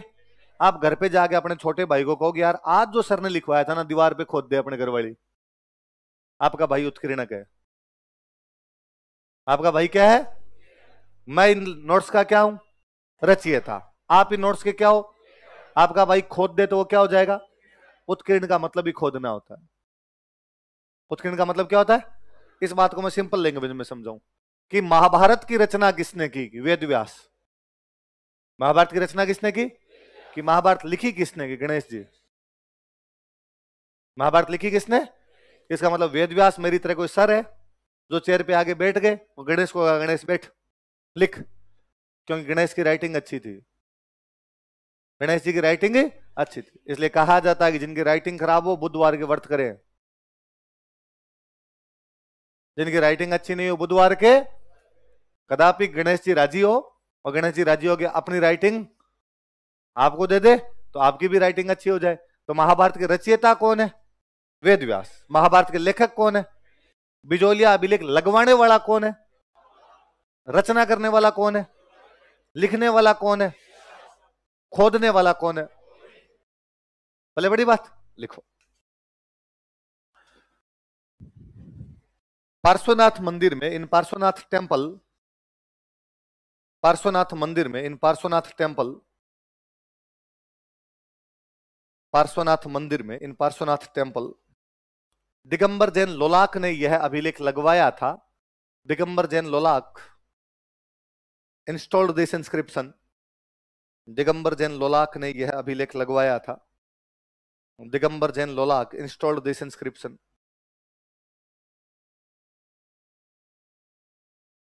Digambar Jain Lolak ने यह अभिलेख लगवाया था। Digambar Jain Lolak installed this inscription लिखो, रचनाकार इंग्लिश में लिखो कंपोजर रचनाकार कंपोजर लिख लो, गुणभद्र गुणभद्र, लेखक राइटर कैसव राइटर या लेखक कौन है इसका? कैसव उत्कीर्णक एनग्रेवर गोविंद। उत्कीर्णक या एनग्रेवर कौन है इसका? गोविंद। रचनाकार कौन है? गुणभद्र। लेखक कौन है? उत्कीर्णक कौन है? कौन से अभिलेख का? जो कि किसने लगवाया? नीचे एक लाइन में लिखो। इस अभिलेख के अनुसार अकॉर्डिंग टू दिस इंस्क्रिप्शन इस अभिलेख के अनुसार अकॉर्डिंग टू दिस इंस्क्रिप्शन इस अभिलेख के अनुसार according to this inscription dash लगा दो उसके आगे तो नीचे पॉइंट्स बना के लिखो। लिखो, चौहान वत्स गोत्रीय ब्राह्मण है। बताई थी मैंने बातें? समझाया था ना एक दिन ये? लिख लो, चौहान वत्स गोत्रीय ब्राह्मण है। चौहान सार ब्राह्मणो वत्स गोत्रा।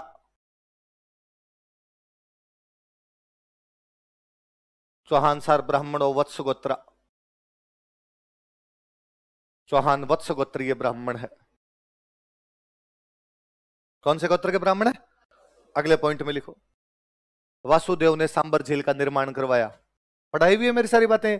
Vasudev built lake Sambhar. Vasudev ने सांबर झील का निर्माण करवाया। Vasudev built lake Sambhar. Vasudev ने सांबर झील का निर्माण करवाया। Vasudev built lake Sambhar.